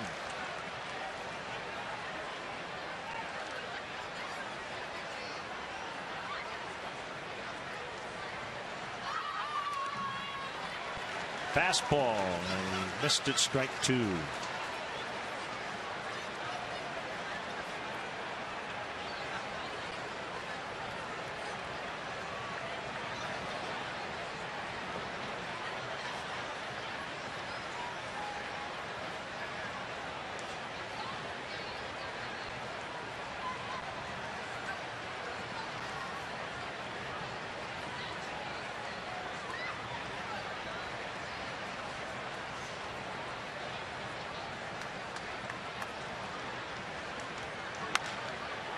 Base hit to right. Soto wanted that fastball up, but he wanted it up a little more than that.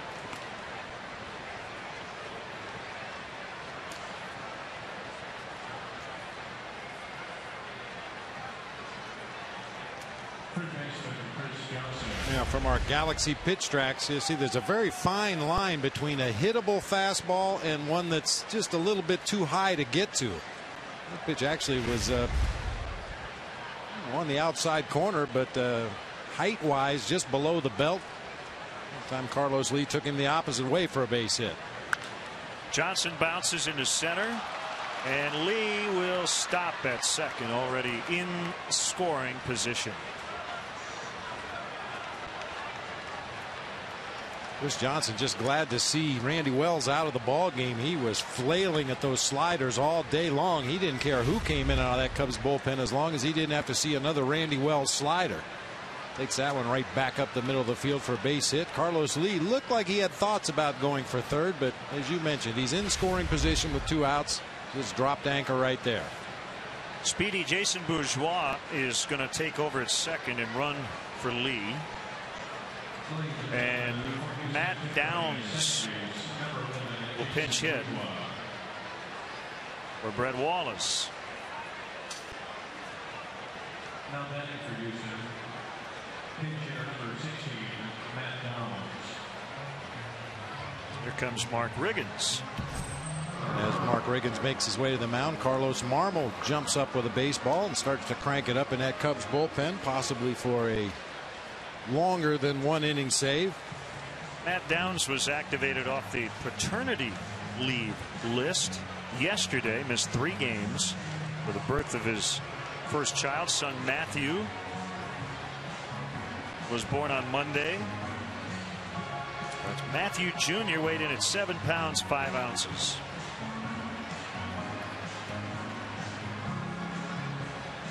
Wish they would have had that in 1982 when my daughter Lacey was born. We had just finished a night game at Shea Stadium preparing to travel on to Montreal when I got the call that my wife Joan was going into labor. I asked my manager, Hey, my wife's going into labor. Can I go home? He said, Yeah, sure, as long as you're back by game time tomorrow. Well, that was a physical impossibility, but uh, this paternity leave, I think, is a real good move on the part of Major League Baseball. Those are the moments you don't want to miss. Downs has been excellent in terms of just getting on base as a pinch hitter. 536 OBP in the pinch.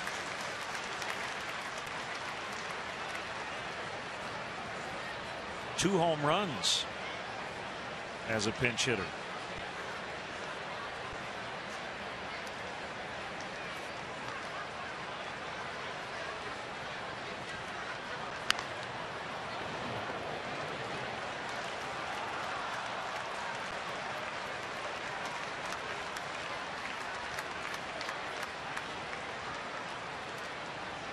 Well, you add it up, and that's uh, for Brad Mills a very frustrating three out of 18 with runners in scoring position.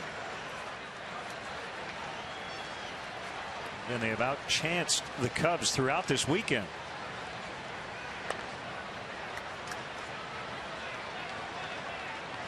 Go back to that high fastball. This time Sean Marshall was going to make sure he put it in a location where the hitter couldn't get a swing at it.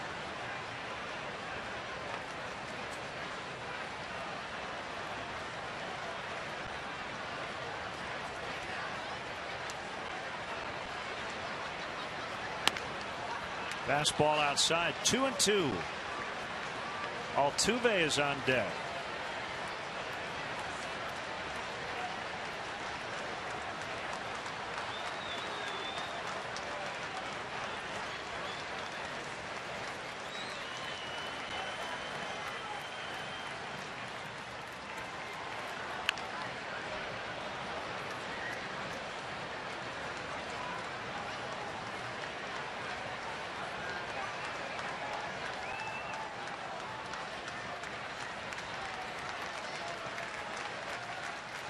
A former San Francisco Giant, born in Tuscaloosa, Alabama.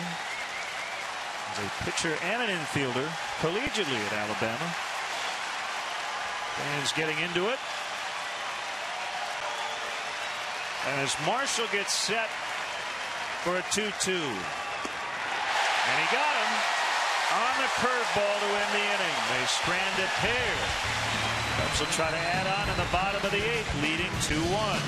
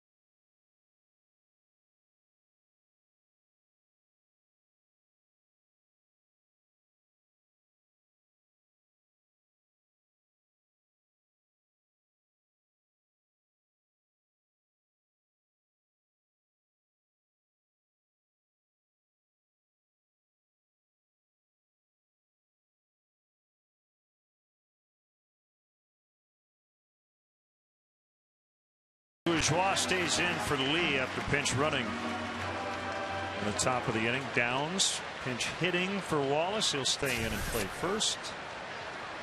Left-hander Sergio Escalona will do the pitching.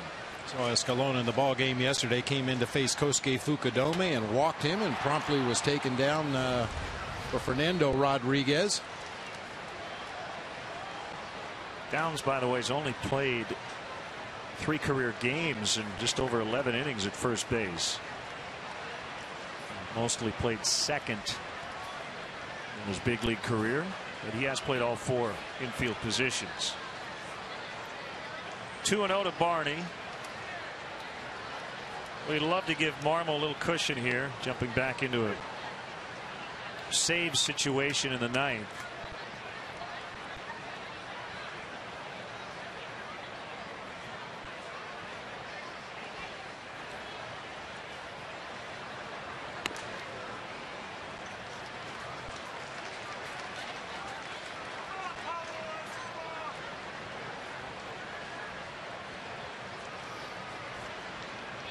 Three and one on Darwin Barney.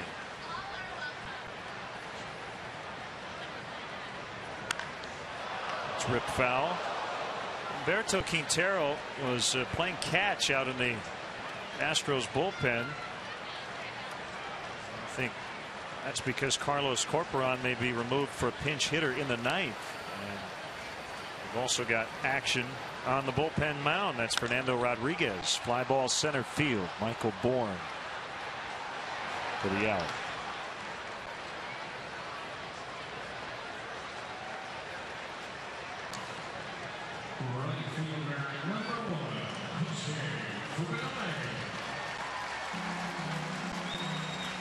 Time now for our Feldco upcoming schedule. A lot of NL Central coming up. Division leading Brewers, at least as of today, supply the opposition to start the road trip. St. Louis and Pittsburgh are tied for second. Cincinnati off to a disappointing start this year, but still in it five games back.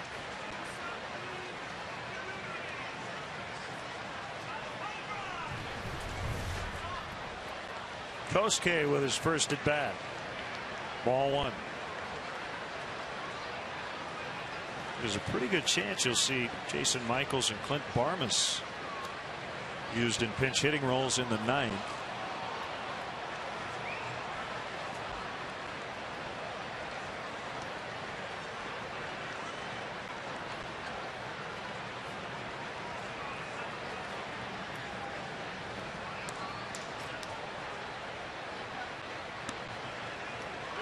Strike.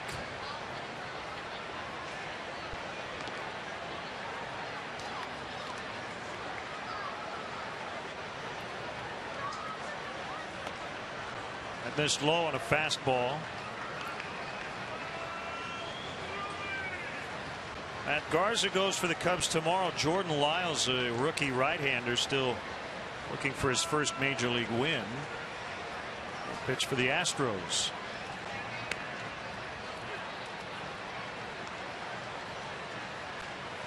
Lyles 20 years old. Made his major league debut here at Wrigley back on May 31st. There's Matt Garza.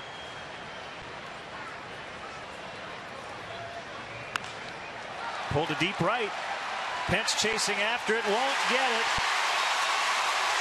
In and out of the vines. Kosuke hustling toward third. And he has a triple.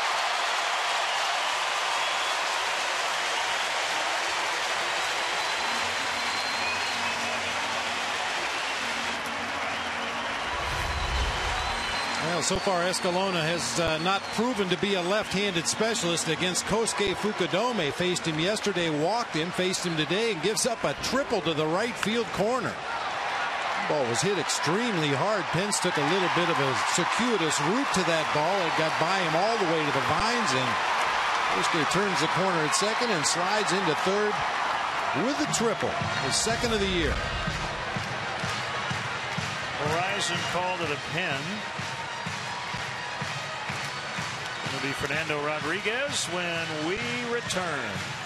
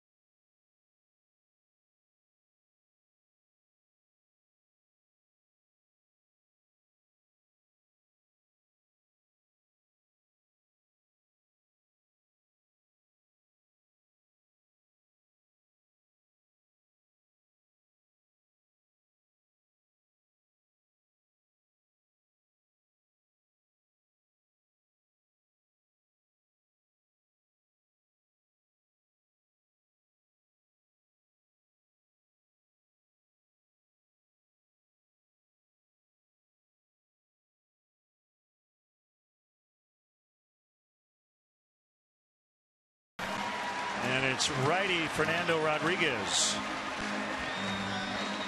Yeah, same pattern out of the bullpen as yesterday for Brad Mills. Escalona followed by Rodriguez yesterday. Rodriguez with an inning at two thirds did not allow a hit. Struck out one. He did hit Marlon Byrd with a pitch. Otherwise zeros across the board. And you know what Jeff Garland did during the commercial? He bought his parents a phone. Infield in against Reed Johnson. What you're going to say about Pat another Prius? Curveball missed. Infield in with Fukudome at third. Cubs leading 2 1 in the eighth.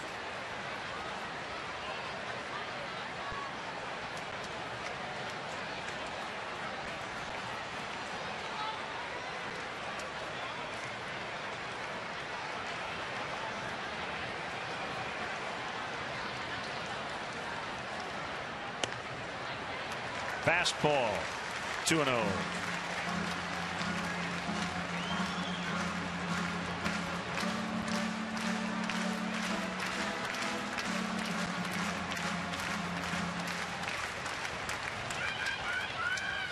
Rodriguez, former Angel.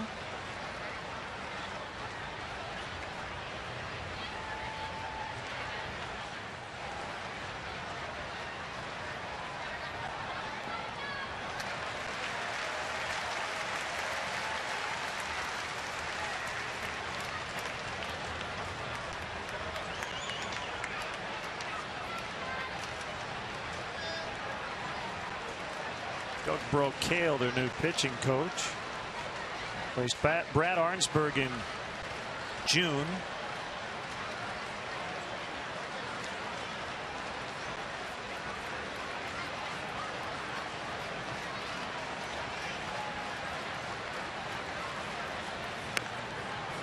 Ball four.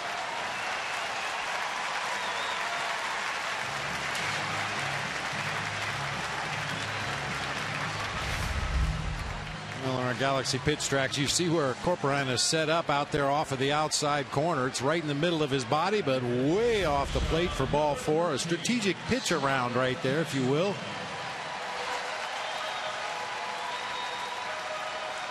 Although usually if you intentionally pitch around a hitter like the Astros just did to Reed Johnson, you play your middle infield back and go for the double play on the next hitter, but the Astros still have their infield drawn in.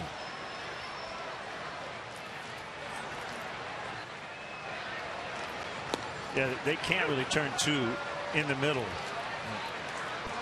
Both middle infielders too far away from second base. But the only place you could is on a backhanded. Well, not even that. On ball to third. Somebody's got to get to second base. And Altuve is playing pretty close to first, about halfway in between.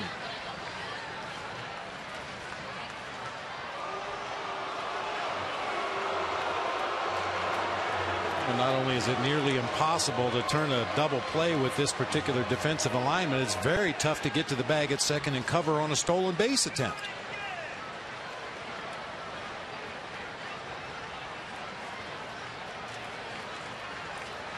Castro is a double play candidate. And he chased a bad one. 0 2.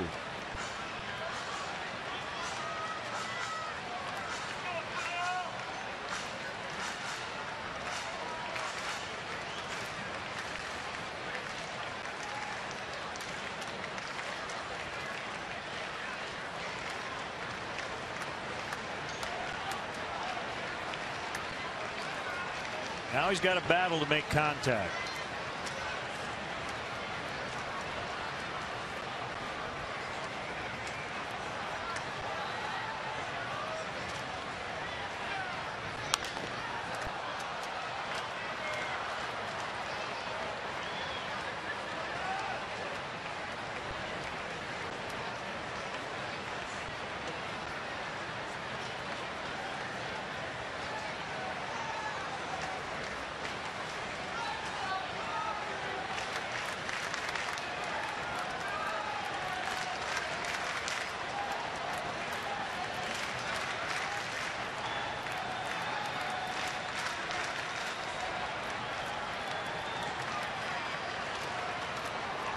Toward third and a look at first.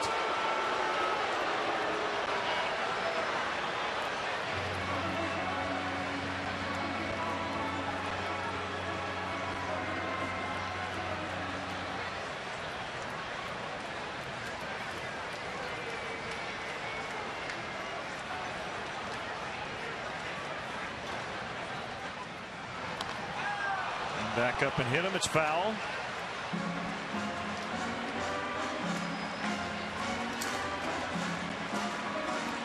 Ready for the ninth. Wouldn't mind getting a little extra support here. Cubs leading by just a run.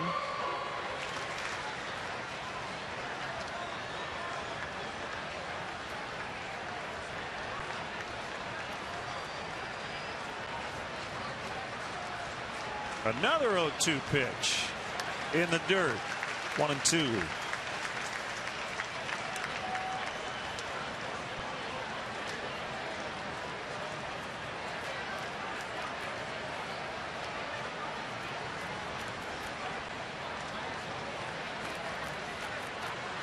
It's not easy to waste a pitch on Starlin Castro. He can get a bat on just about anything you throw up there. Laid off that breaking ball in the dirt. They want to go in with a fastball here.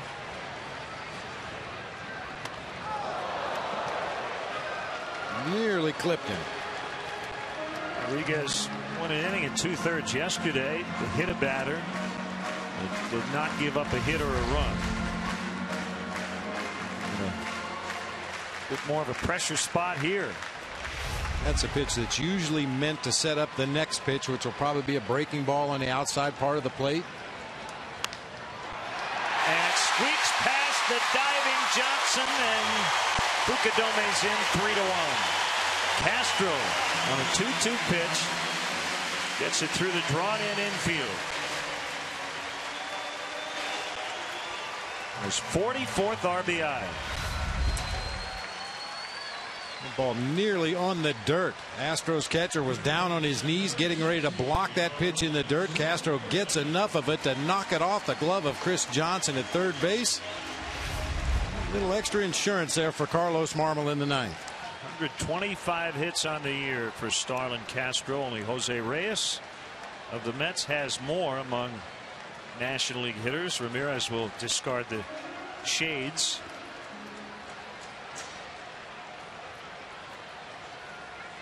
Run in, two on, still only one out.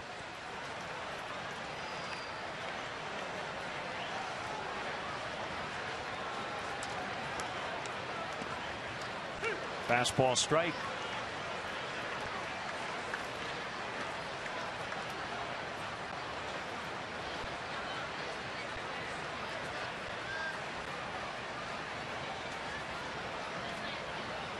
Bit of an adjustment for Ramirez, who was wearing those shades.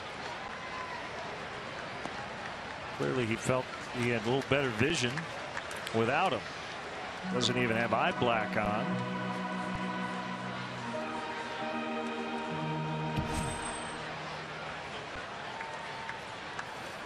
Aneury Del Rosario.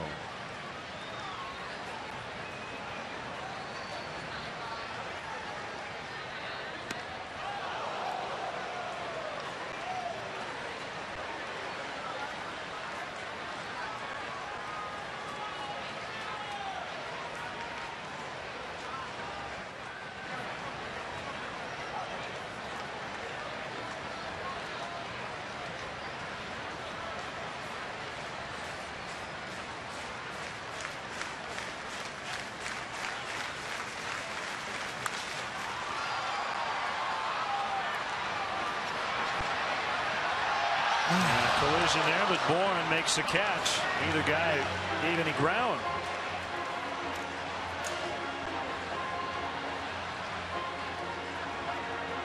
An apparent lack of communication between the outfielders out there. Looked like Pence was calling for it. Bourn, the center fielder, as we've mentioned many times, is considered the captain of the outfield. He's supposed to call off anybody if he can make a play. Unable to come away with it that time.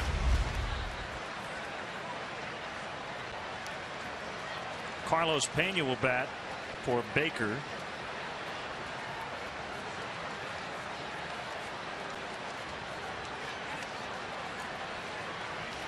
Stay in and play first in the ninth.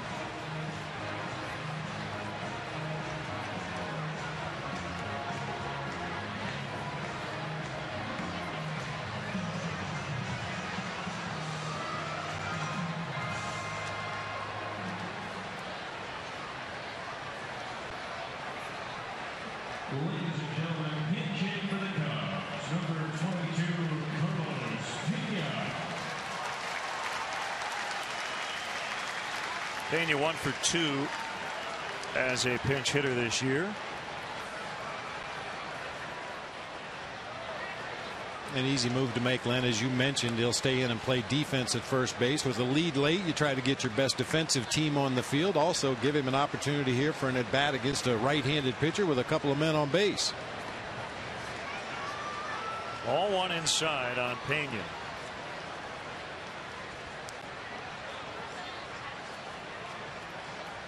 Was looking for back to back wins for the first time in about three weeks. And their first series win for the first time in over a month. Can accomplish both by maintaining this lead.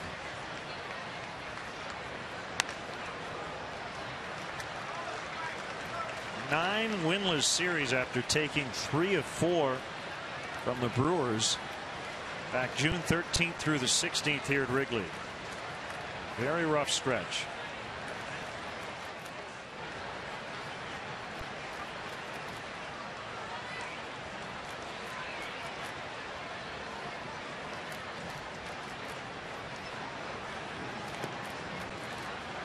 Missed again 3 and 0.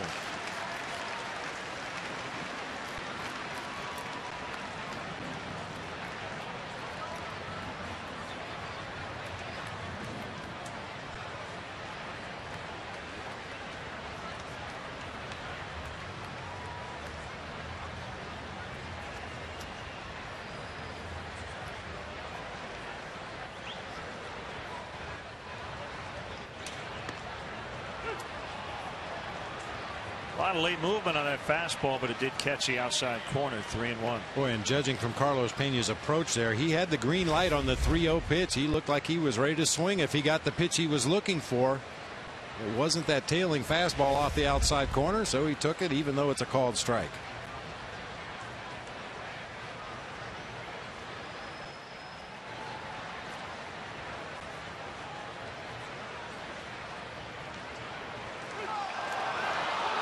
Really?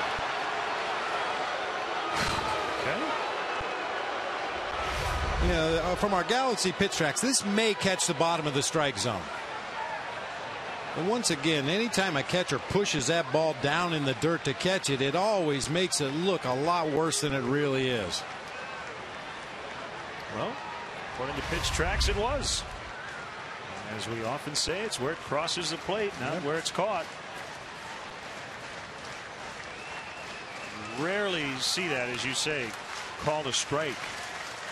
Three and two runners will go. Here's the pitch in the dirt. Bases loaded. Corporan through to first just in case Pena swung at the pitch, which he did not.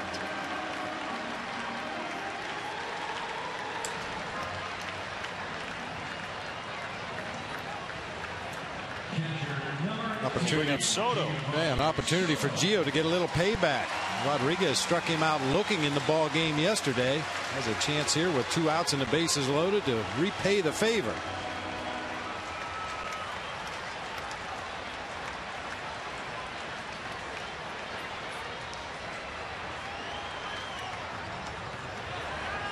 Curveball, strike one. TNT Uverse Multiview. Cubs with the sacks loaded. A run already in, adding some insurance here in the eighth. 0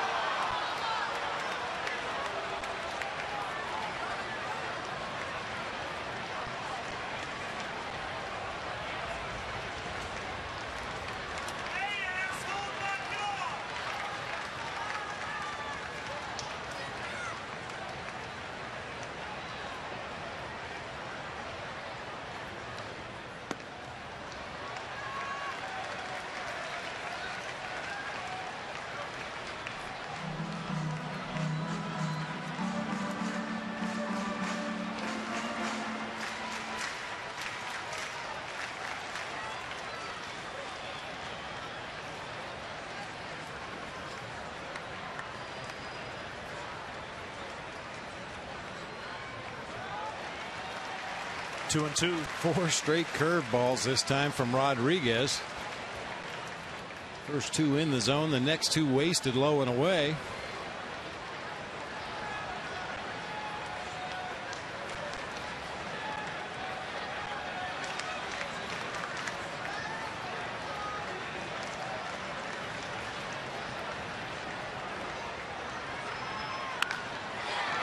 Diving stop by Johnson. Little bobble throw to first and out of the glove of Downs. Castro's going to score. They get two runs to make it five to one.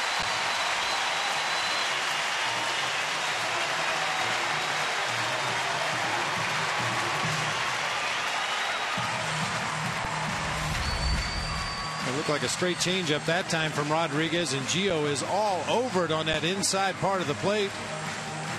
A smash down to Johnson, who does a nice job of getting to that ball. Could not find the handle and then makes a poor throw across the diamond.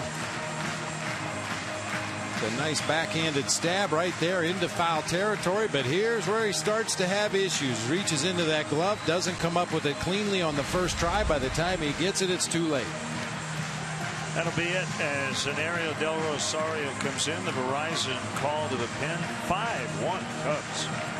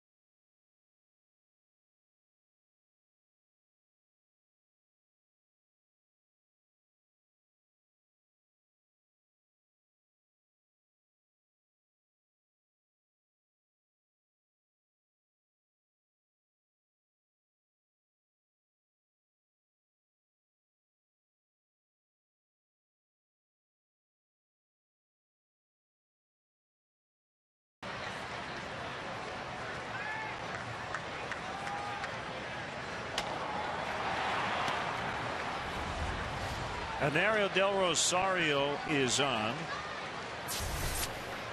Trying to get the elusive third out for the Astros here in the eighth. Three runs in. That makes it a non-save chance for Carlos Marmol, but that's all right. We'll head out to get the final three outs today and treat it like a save opportunity. Byrd is the eighth Cub to bat in this inning.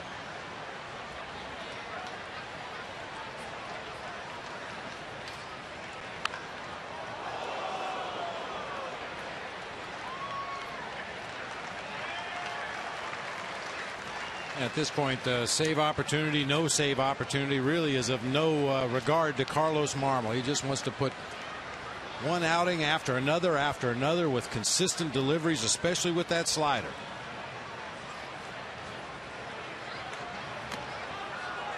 Foul tip, strike three to end the inning, but the Cubs add three runs to their lead. It's 5 1 as we move to the ninth.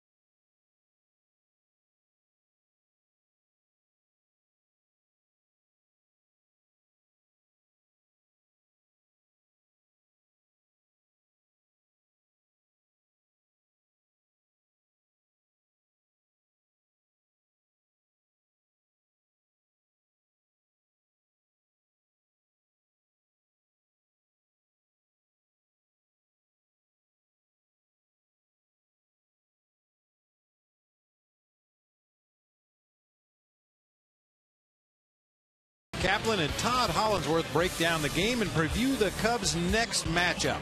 Don't miss Coors Light Cubs postgame live immediately following the game right here on Comcast Sportsnet, fans' best friend.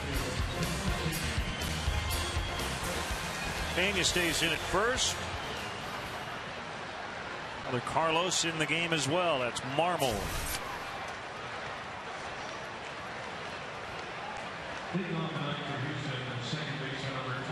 Familiar spot for him here in the ninth.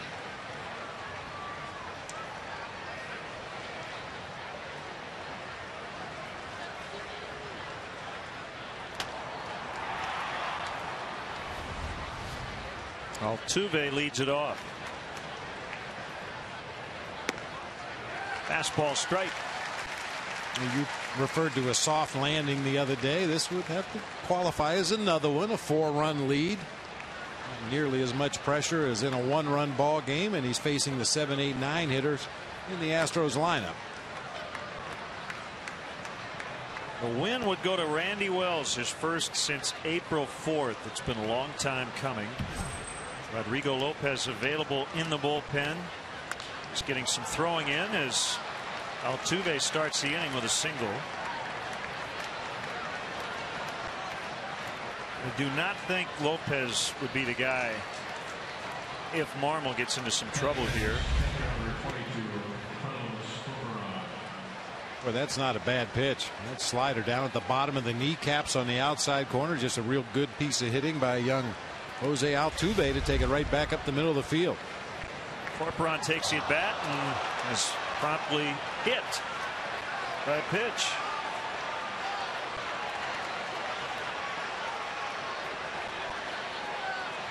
Jason Michaels will come up. Boy, those extra runs now looming large. Another hard slider with good break. Unfortunately, nowhere near the strike zone. Catches Corporan on the outside of that right ankle.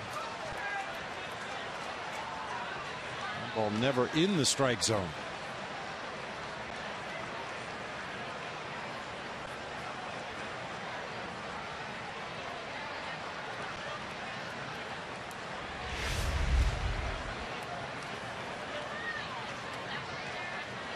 Brad Mills and one of the Astros athletic trainers going to check on Corporan.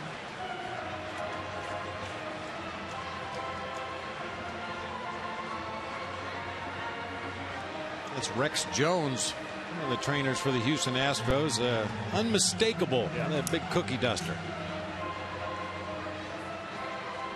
To take him out.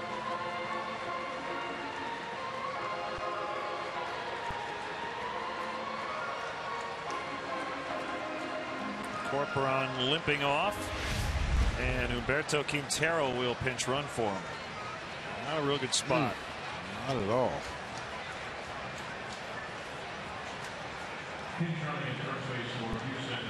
If they're adding a lot of speed at first, but a lot of options off the bench. That's where occasionally you'll see a manager use a starting pitcher. Uh, that runs the base as well. We saw Lou Piniella do it with Jason Marquis. Other teams have their designated runner. Earlier this season, the Cubs used Casey Coleman as a runner on several instances.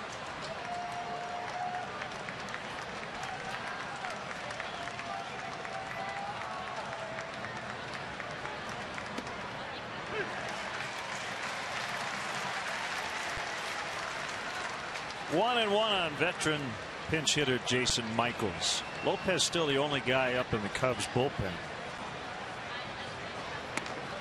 Called strike two on a slider.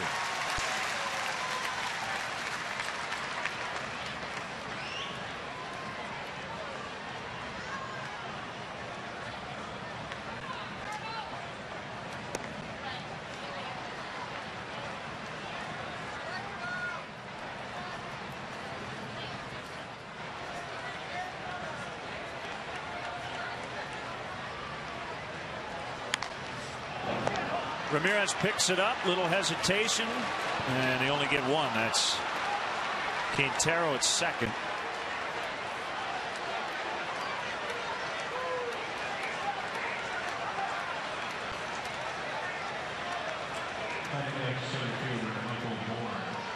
Looked like that should have been an easy double play. A hard hit ball right to Ramirez at third base. He had a lot of trouble getting the ball out of his glove to initiate that double play. Right there takes his time. By the time he gets it on to Darwin Barney, Barney decides he's better off just hanging on to the ball rather than risking an errant throw at first.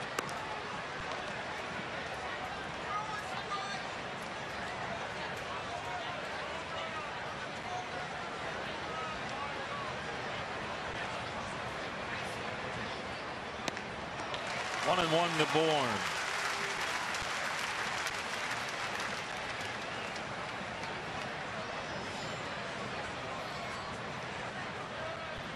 Not really concerned about either of these guys on the bases with a four run lead in the ninth. You can do with Michaels is turn that into a double play if you can get a hard hit ground ball but can't bobble it with this guy at the plate. Nope.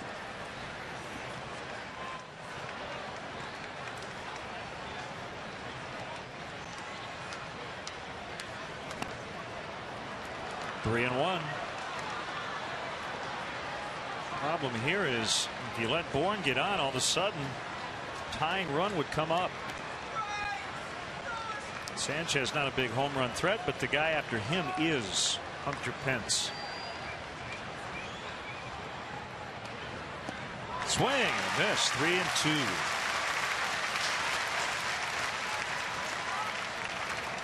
Actually, a little surprised Bourn didn't take that one all the way. Looks like Gio wants another slider here. And a swing and a miss, strike three.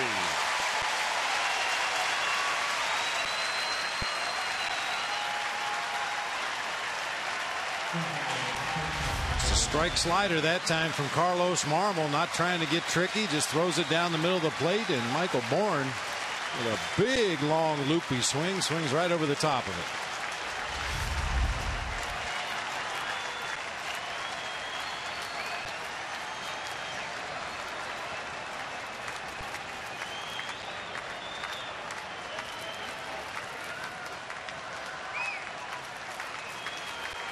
Pitch to Sanchez. Missed wide.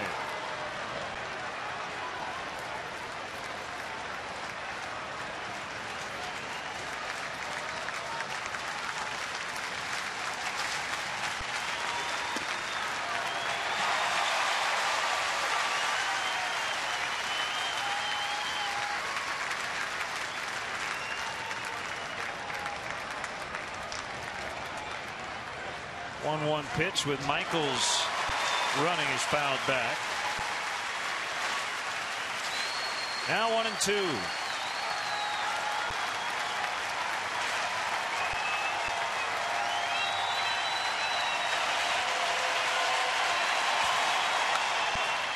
Pop to right. Kosuke makes a grab. Cubs win. Cubs win 5-1 the final. Marmol recovers and does not give up a run in the ninth.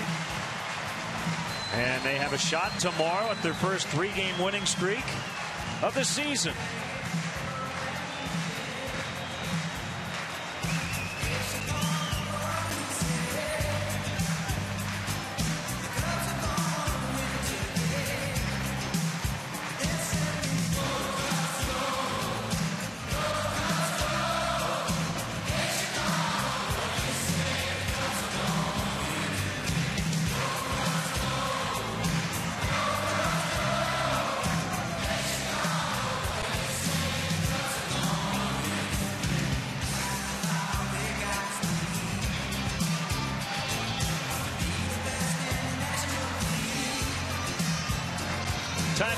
GMC player of the game, Randy Wells. Take a uh, deep breath. He's got his first win since his first start of the year. Boy, and this is exactly how you like to see a player respond. Possibly pitching for his very existence in that starting rotation and came out and picked up his first victory since his first go round this season was really good today. He and four relievers held the Astros to one for 11 with runners in scoring position, and we always give credit to the catcher. On a day like this, Geovany Soto standing by with our Luke Stuckmeyer. Thank you, Len. Geovany, nice to lock up the series win, first of all, but tell me about Randy Wells and what he did so well today on the mound for you. Oh, he was doing uh, really good. He was mixing his pitches really well. His off speed was unbelievable today, and, uh, you know, he, he, gave us a chance. He, he, kept us in the ball game, and uh, he threw a pretty good game. I know you've been waiting for a home run. How good did that feel for you at the plate? Felt good. I mean, uh, you know, been scuffling on and off in the, in the home plate, but, uh, you know, the great thing about it, we got to win, you know, put a couple of bats uh, good together, so, you know, the, it's, a, it's a fun day today. Carlos Marmol's been trying to work his way back into a rhythm a little bit. Little trouble early on. What do you say to him to calm him down when you walk out there in the ninth? Um, you know, right there, just say be himself. You know, pitch like it's a you know like it's a one-run game and never lose focus. I mean, everybody's entitled to a little funk, but uh, you know, Carlos Marmol has been great for us for, for for a long time, and he's going to be continuing doing that. Congratulations on the win. Thanks for your time. Thank you, thank you, guys. You know what, guys? Chance for three in a row and a sweep tomorrow, Len. Thanks, Luke. And you're right, for Gio, it's his first homer in the month of July. See the W flag flying. A chance tomorrow also to finish this homestand at five and five. And that will do it for our game coverage, but more to come. Stay tuned. Coors Light post game live coming up next. The final score today: the Cubs five, the Astros one. Our next Cubs telecast on CSN Wednesday night at 7. The Cubs head north to face the Milwaukee Brewers, 7 o'clock Central Time for game two of that series. In-game scoring provided by ScorePad, and now for Bob and Luke and our entire crew. This is Len Kasper sending it over to Cap and Holly in our downtown CSN studios.